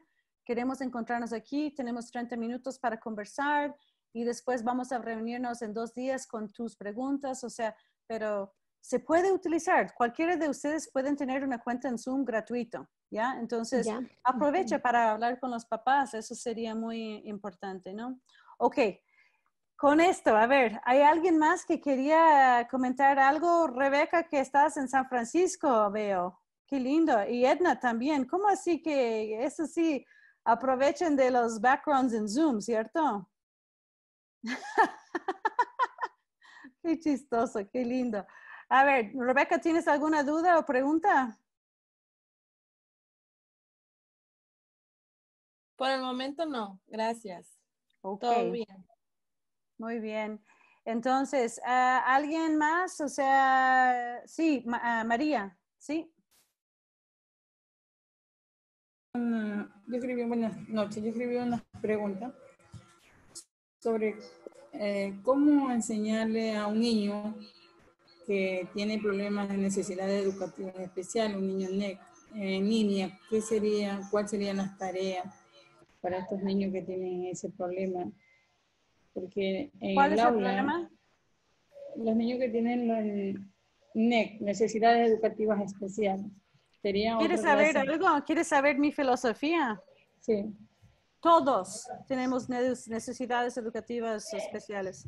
Sí, eso Punto. mismo dije, eso mismo Si quieres saber una, una, una idea muy interesante, tú sabes, eh, empezamos a tener eso, empezamos a tener psicólogos en las escuelas y empezamos nosotros como docentes dejar de pensar que es nuestra responsabilidad estos niños especiales. Y eso se va desde el niño retardado hasta el niño dotado, o sea, existe varias eh, definiciones. ¿Qué porcentaje, ¿Qué porcentaje de los niños tienen necesidades? No, le cambio la pregunta. ¿Tú crees que Finlandia tiene buena educación? No es apropiado para Ecuador, pero ¿tú crees que han tenido muchos resultados eh, buenos Finlandia como país? No, no, yo, ¿cómo le digo? Yo no puedo hablar por Finlandia, pero creo que sí han tenido buenos resultados. Yo que tenido. Finlandia ha subido en los últimos 50 años a llegar a ser el top, top, top en todos los Claro. exámenes estandarizados y todo eso, pero ha demorado 50 años.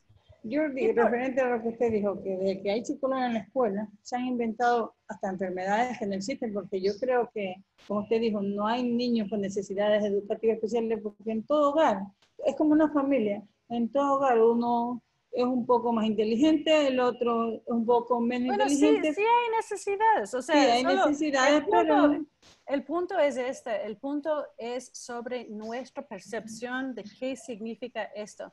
¿Por qué? Cualquier etiquetado, cualquier cosa que te digo, Lady, tú eres inteligente, Luis, tú eres bilingüe, María, tú eres disléxica, al momento que te doy algún en la cabeza, tú eres algo, ya es la expectativa que yo te dije, la gente sube o baja el nivel de expectativa. Al momento que tú pones algún nombre etiquetado a una- un chico, ya empiezas a bajar su potencial. Entonces, por ende, Finlandia, ¿sabes qué porcentaje de la gente tiene necesidades especiales en Finlandia? 100%, porque aceptan, pero es fluido, es muy distinto de lo que hacemos nosotros. Ellos dicen, mira, Shirley, tú tienes una especi- eh, necesidad especial en mate esta semana. te vamos a dar un apoyo extra esta semana. Pero es fluido porque la próxima semana hay otros conceptos y a lo mejor tú eres la mejor.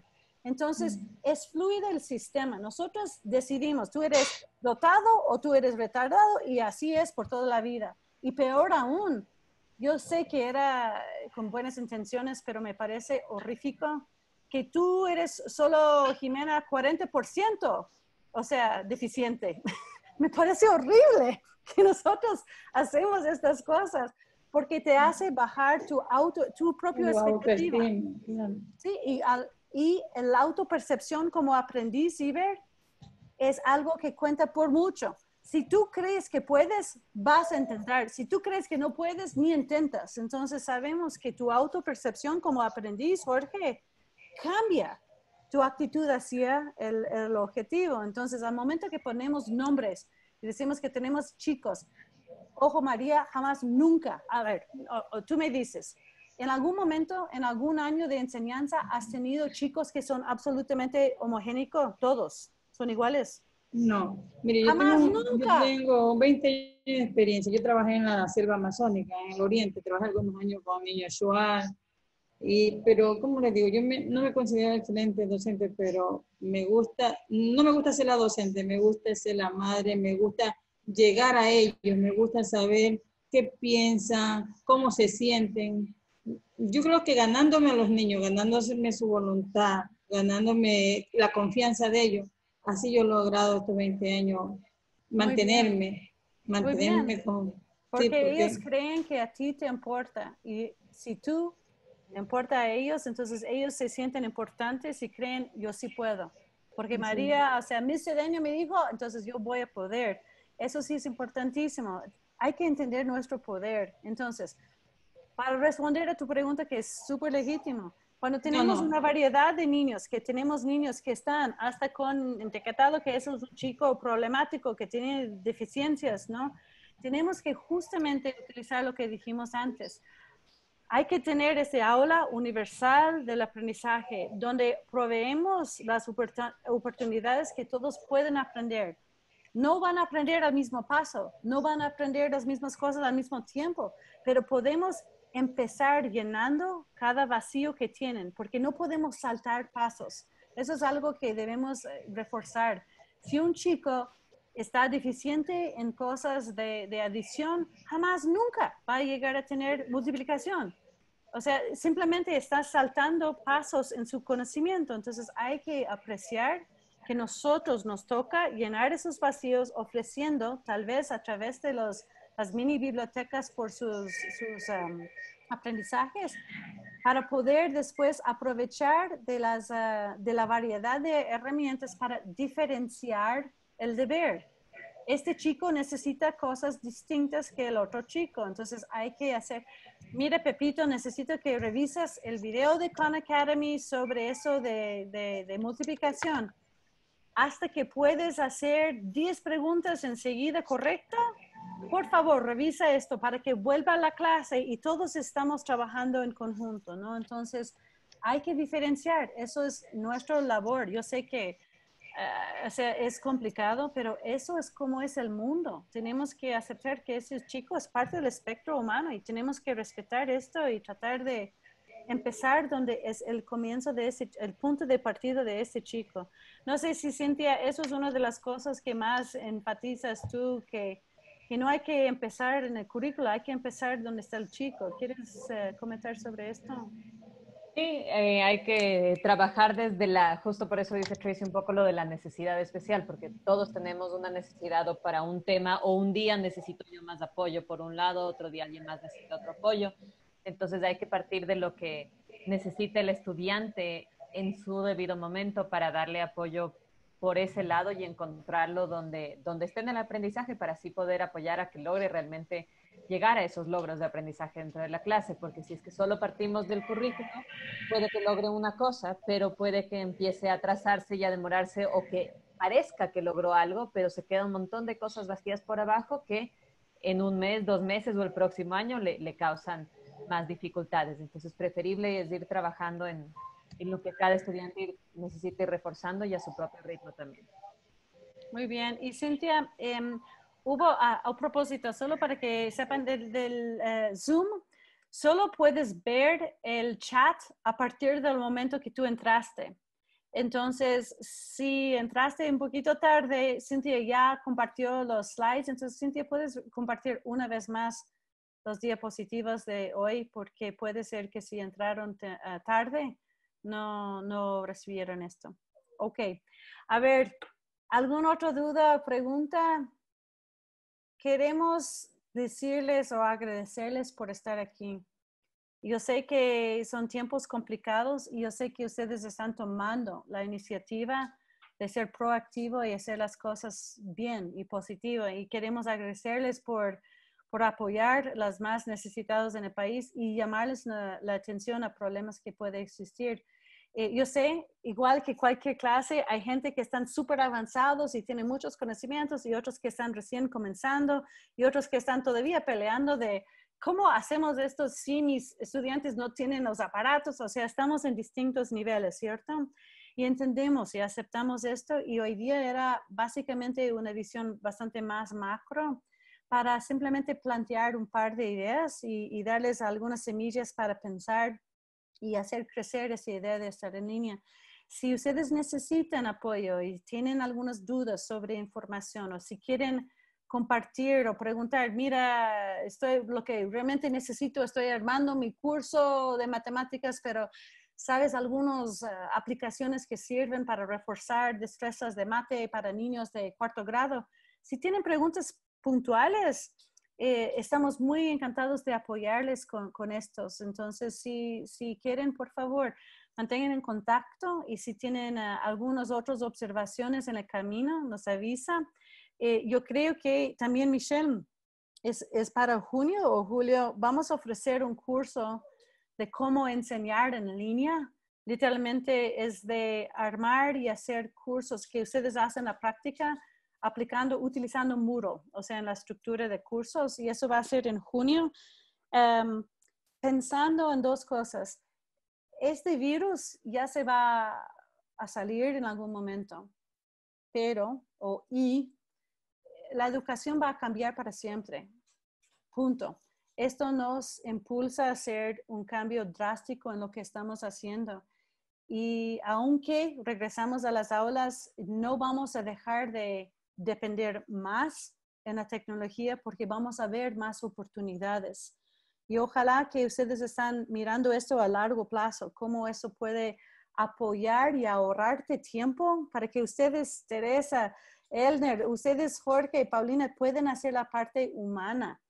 Si dejo que la compu hacen las repeticiones cien mil veces, yo puedo tener la conversación con este chico que está, o sea, me preocupa, que está, ¿te parece que está, no estás durmiendo? ¿O comiste, desayunaste? O sea, eso no hace una computadora. Pero tú como ser humano puedes hacer esto. Y si podemos usar la tecnología en una manera aprovecha de esto, podemos tener más tiempo para estas cosas, esas conversaciones tan importantes. ¿Ok? Entonces, con esto, supongo, entonces, si no hay preguntas, uh, vamos a terminar.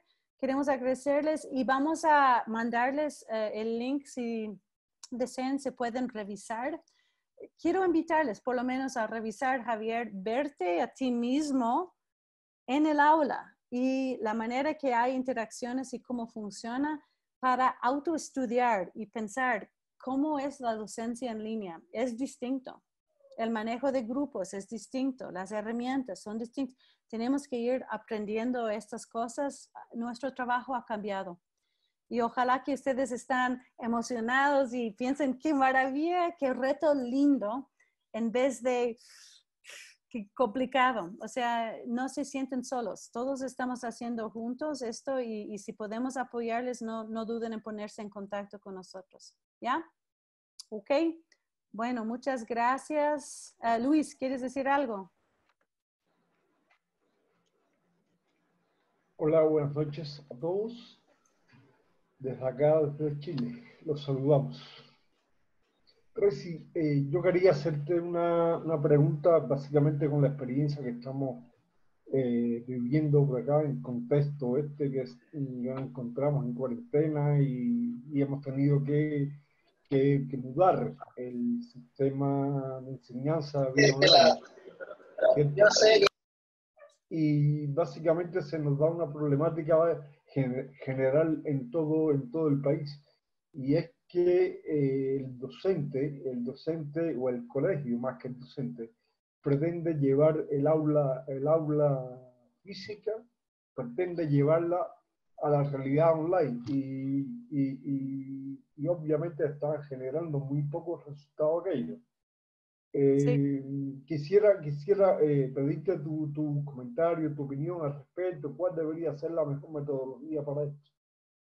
Eso sí es, es, es, un, eh, una- un problema común y es muy típico de, de, de cuando uno crece. ah, la primera cosa que quiere hacer es lo, lo menos posible, es de pasar todo, a ver, todo lo que hago cara a cara, me voy a trasladar y simplemente pasarlo en línea. No es cierto. Son distintas y mucho más herramientas, actividades, recursos disponibles en línea que hay en la, la vida cara a cara. Entonces hay que aprovechar de esto. El manejo de los grupos es distinto en línea. Entonces, justo lo que decimos justo al comienzo, hay algunas cosas que, que son típicos donde no hay interacción ninguno, MOOCs, webinars, lo que sea. Y hay los cursos que son exactamente lo que tú dices, Luis. Tratan de mover mi físico a virtual y pretendemos que es la misma cosa. Eso es un primer paso. Yo diría los rookies, los principiantes pueden hacer eso porque es lo más cómodo, pero es perder la oportunidad de usar todo lo que ofrece estar en línea.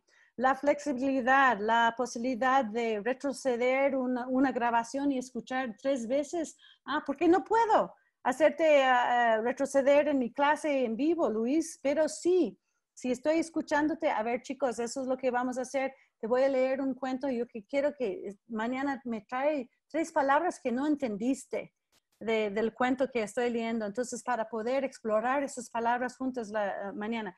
Y el chico puede retroceder y escuchar diez veces el cuento y poder llegar con otro conocimiento.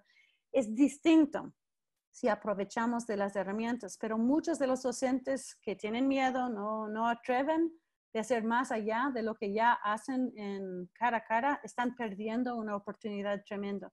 Es por eso, si revisan, ah, y es la última cosa que quiero mencionar, en el chat, ustedes ven que en la parte de abajo, cuando puedes escribir, en esta parte aquí, tú puedes guardar el chat mismo. Ustedes pueden, entonces hay un montón de ideas ustedes compartieron de sobre herramientas que se pueden aplicar en el aula.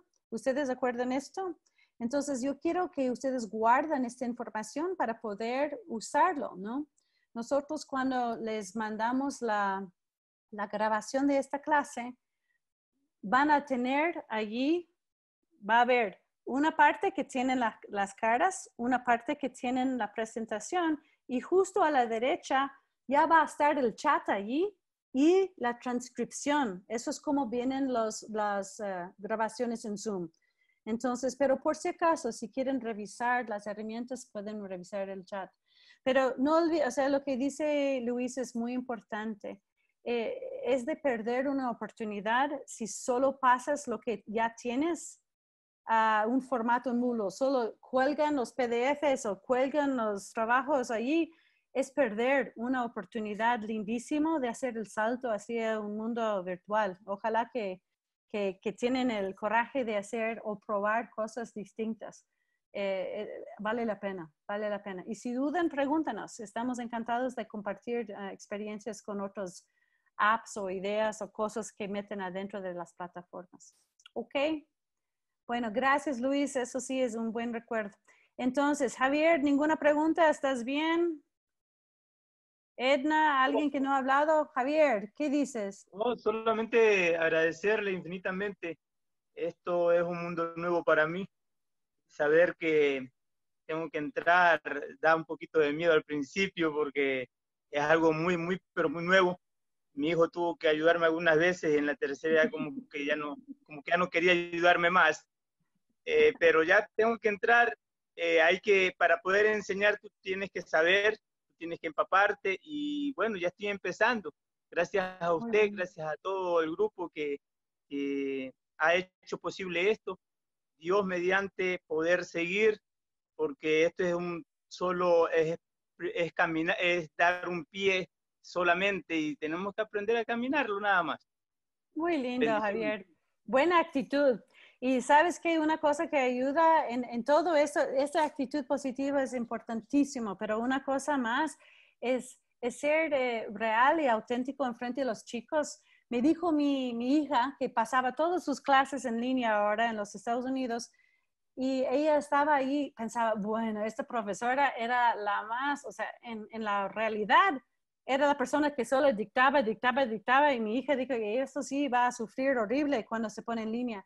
Pero la profe aprovechó, aprovechó a decirles justo lo que dijo Diana, a plantear preguntas y hacer cosas distintas porque eh, recibió este tipo de motivación a serio, pero empezó diciendo, oigan chicos, estoy nerviosa, no estoy acostumbrado a esto, no sé si estoy haciendo bien, quiero su apoyo, yo voy a intentar hacerlo. Yo, yo tampoco estoy de acuerdo, la verdad es que nunca me gustaba la idea de enseñar en línea, pero voy a intentar y quiero que ustedes me apoyen y ustedes intenten también. Veamos si podemos hacerlo juntos. Y mi hija dijo que era la mejor clase de todo el semestre, porque la profesora abierto, voy a hacer esto, voy a aprender con ustedes y fue fabuloso. Entonces, ustedes no pierden esto tampoco, a decir, mira, honestamente, primera vez que hago esto. Y si ustedes tienen alguna pista para mí, estoy abierto. Muchas gracias. Pero vamos a ir aprendiendo juntos. Vale mucho esto a los chicos, ¿no? Ok. Bueno, gracias a todos y, mantengan en contacto, ¿no? Entonces, y vamos a mantener a través, Michelle, vas a, va a enviar información sobre la página web y el, curso que podemos tener en, en el verano. Pero mientras tanto, si tienen alguna pregunta y, nos manda, por favor, estamos tratando de responder y hacerles sentir que eso es algo que todos estamos en el, mismo, ¿no? Tratando de ayudarnos entre nosotros, ¿ok? Bueno, muchas gracias, buenas noches, que descansen, que duermen con ideas de Moodle y Google y Teams y todas esas cosas. Gracias, buenas noches. Hasta luego. Gracias, buenas noches. Gracias y buenas noches, compañeros. Gracias. compañeros. Chao, Buenas noches, que Dios me bendiga a todos. Gracias. Chao. Gracias, bendiciones. Gracias. Ya hablamos. Y Cintia, no hubo nada en el chat que, que no, no respondimos. ¿Hubo algo pendiente? Salud, que Dios les guarde. Había un compañero que preguntó si iban a dar algún certificado. Uf, ¿Tú quieres saber lo que quiero decir a esta persona? Nosotros, de nosotros, de la buena corazón, del interés en el país, de apoyar a todos los docentes, hacemos absolutamente todo gratuito. Gracias. Y de nuestros corazones. Ojalá que ustedes aprovechen del aprendizaje en sus cerebros y que olviden de las tonterías de los certificados. Estamos grabando, perdón. Pero para mí me da iras. O sea, perdón, tú tienes evidencia de aprendizaje en esta grabación. Utiliza esto, porque el papelito no sirve de nada y cualquier persona puede imprimir papelitos. Pero mostrar que han aprendido algo, si logran hacer el 321, es tu propio certificado. Ojalá que utilicen eso. Perdón, porque yo tengo iras con los falsos títulos y papelitos que no sirven de nada. Lo que es mucho más importante es, documentar, documentar el aprendizaje a través de grabaciones y el trabajo en sí. ¿Ok? Ya. pero si realmente necesitas algo, escribe a Michelle y a ver si ella tiene más paciencia que yo con estos. Sí, ya, gracias, gracias. Bueno, ya nos vemos. Gracias y gracias, eh, Michelle por organizar todo este lío y Cintia por revisar la, la presentación y todo.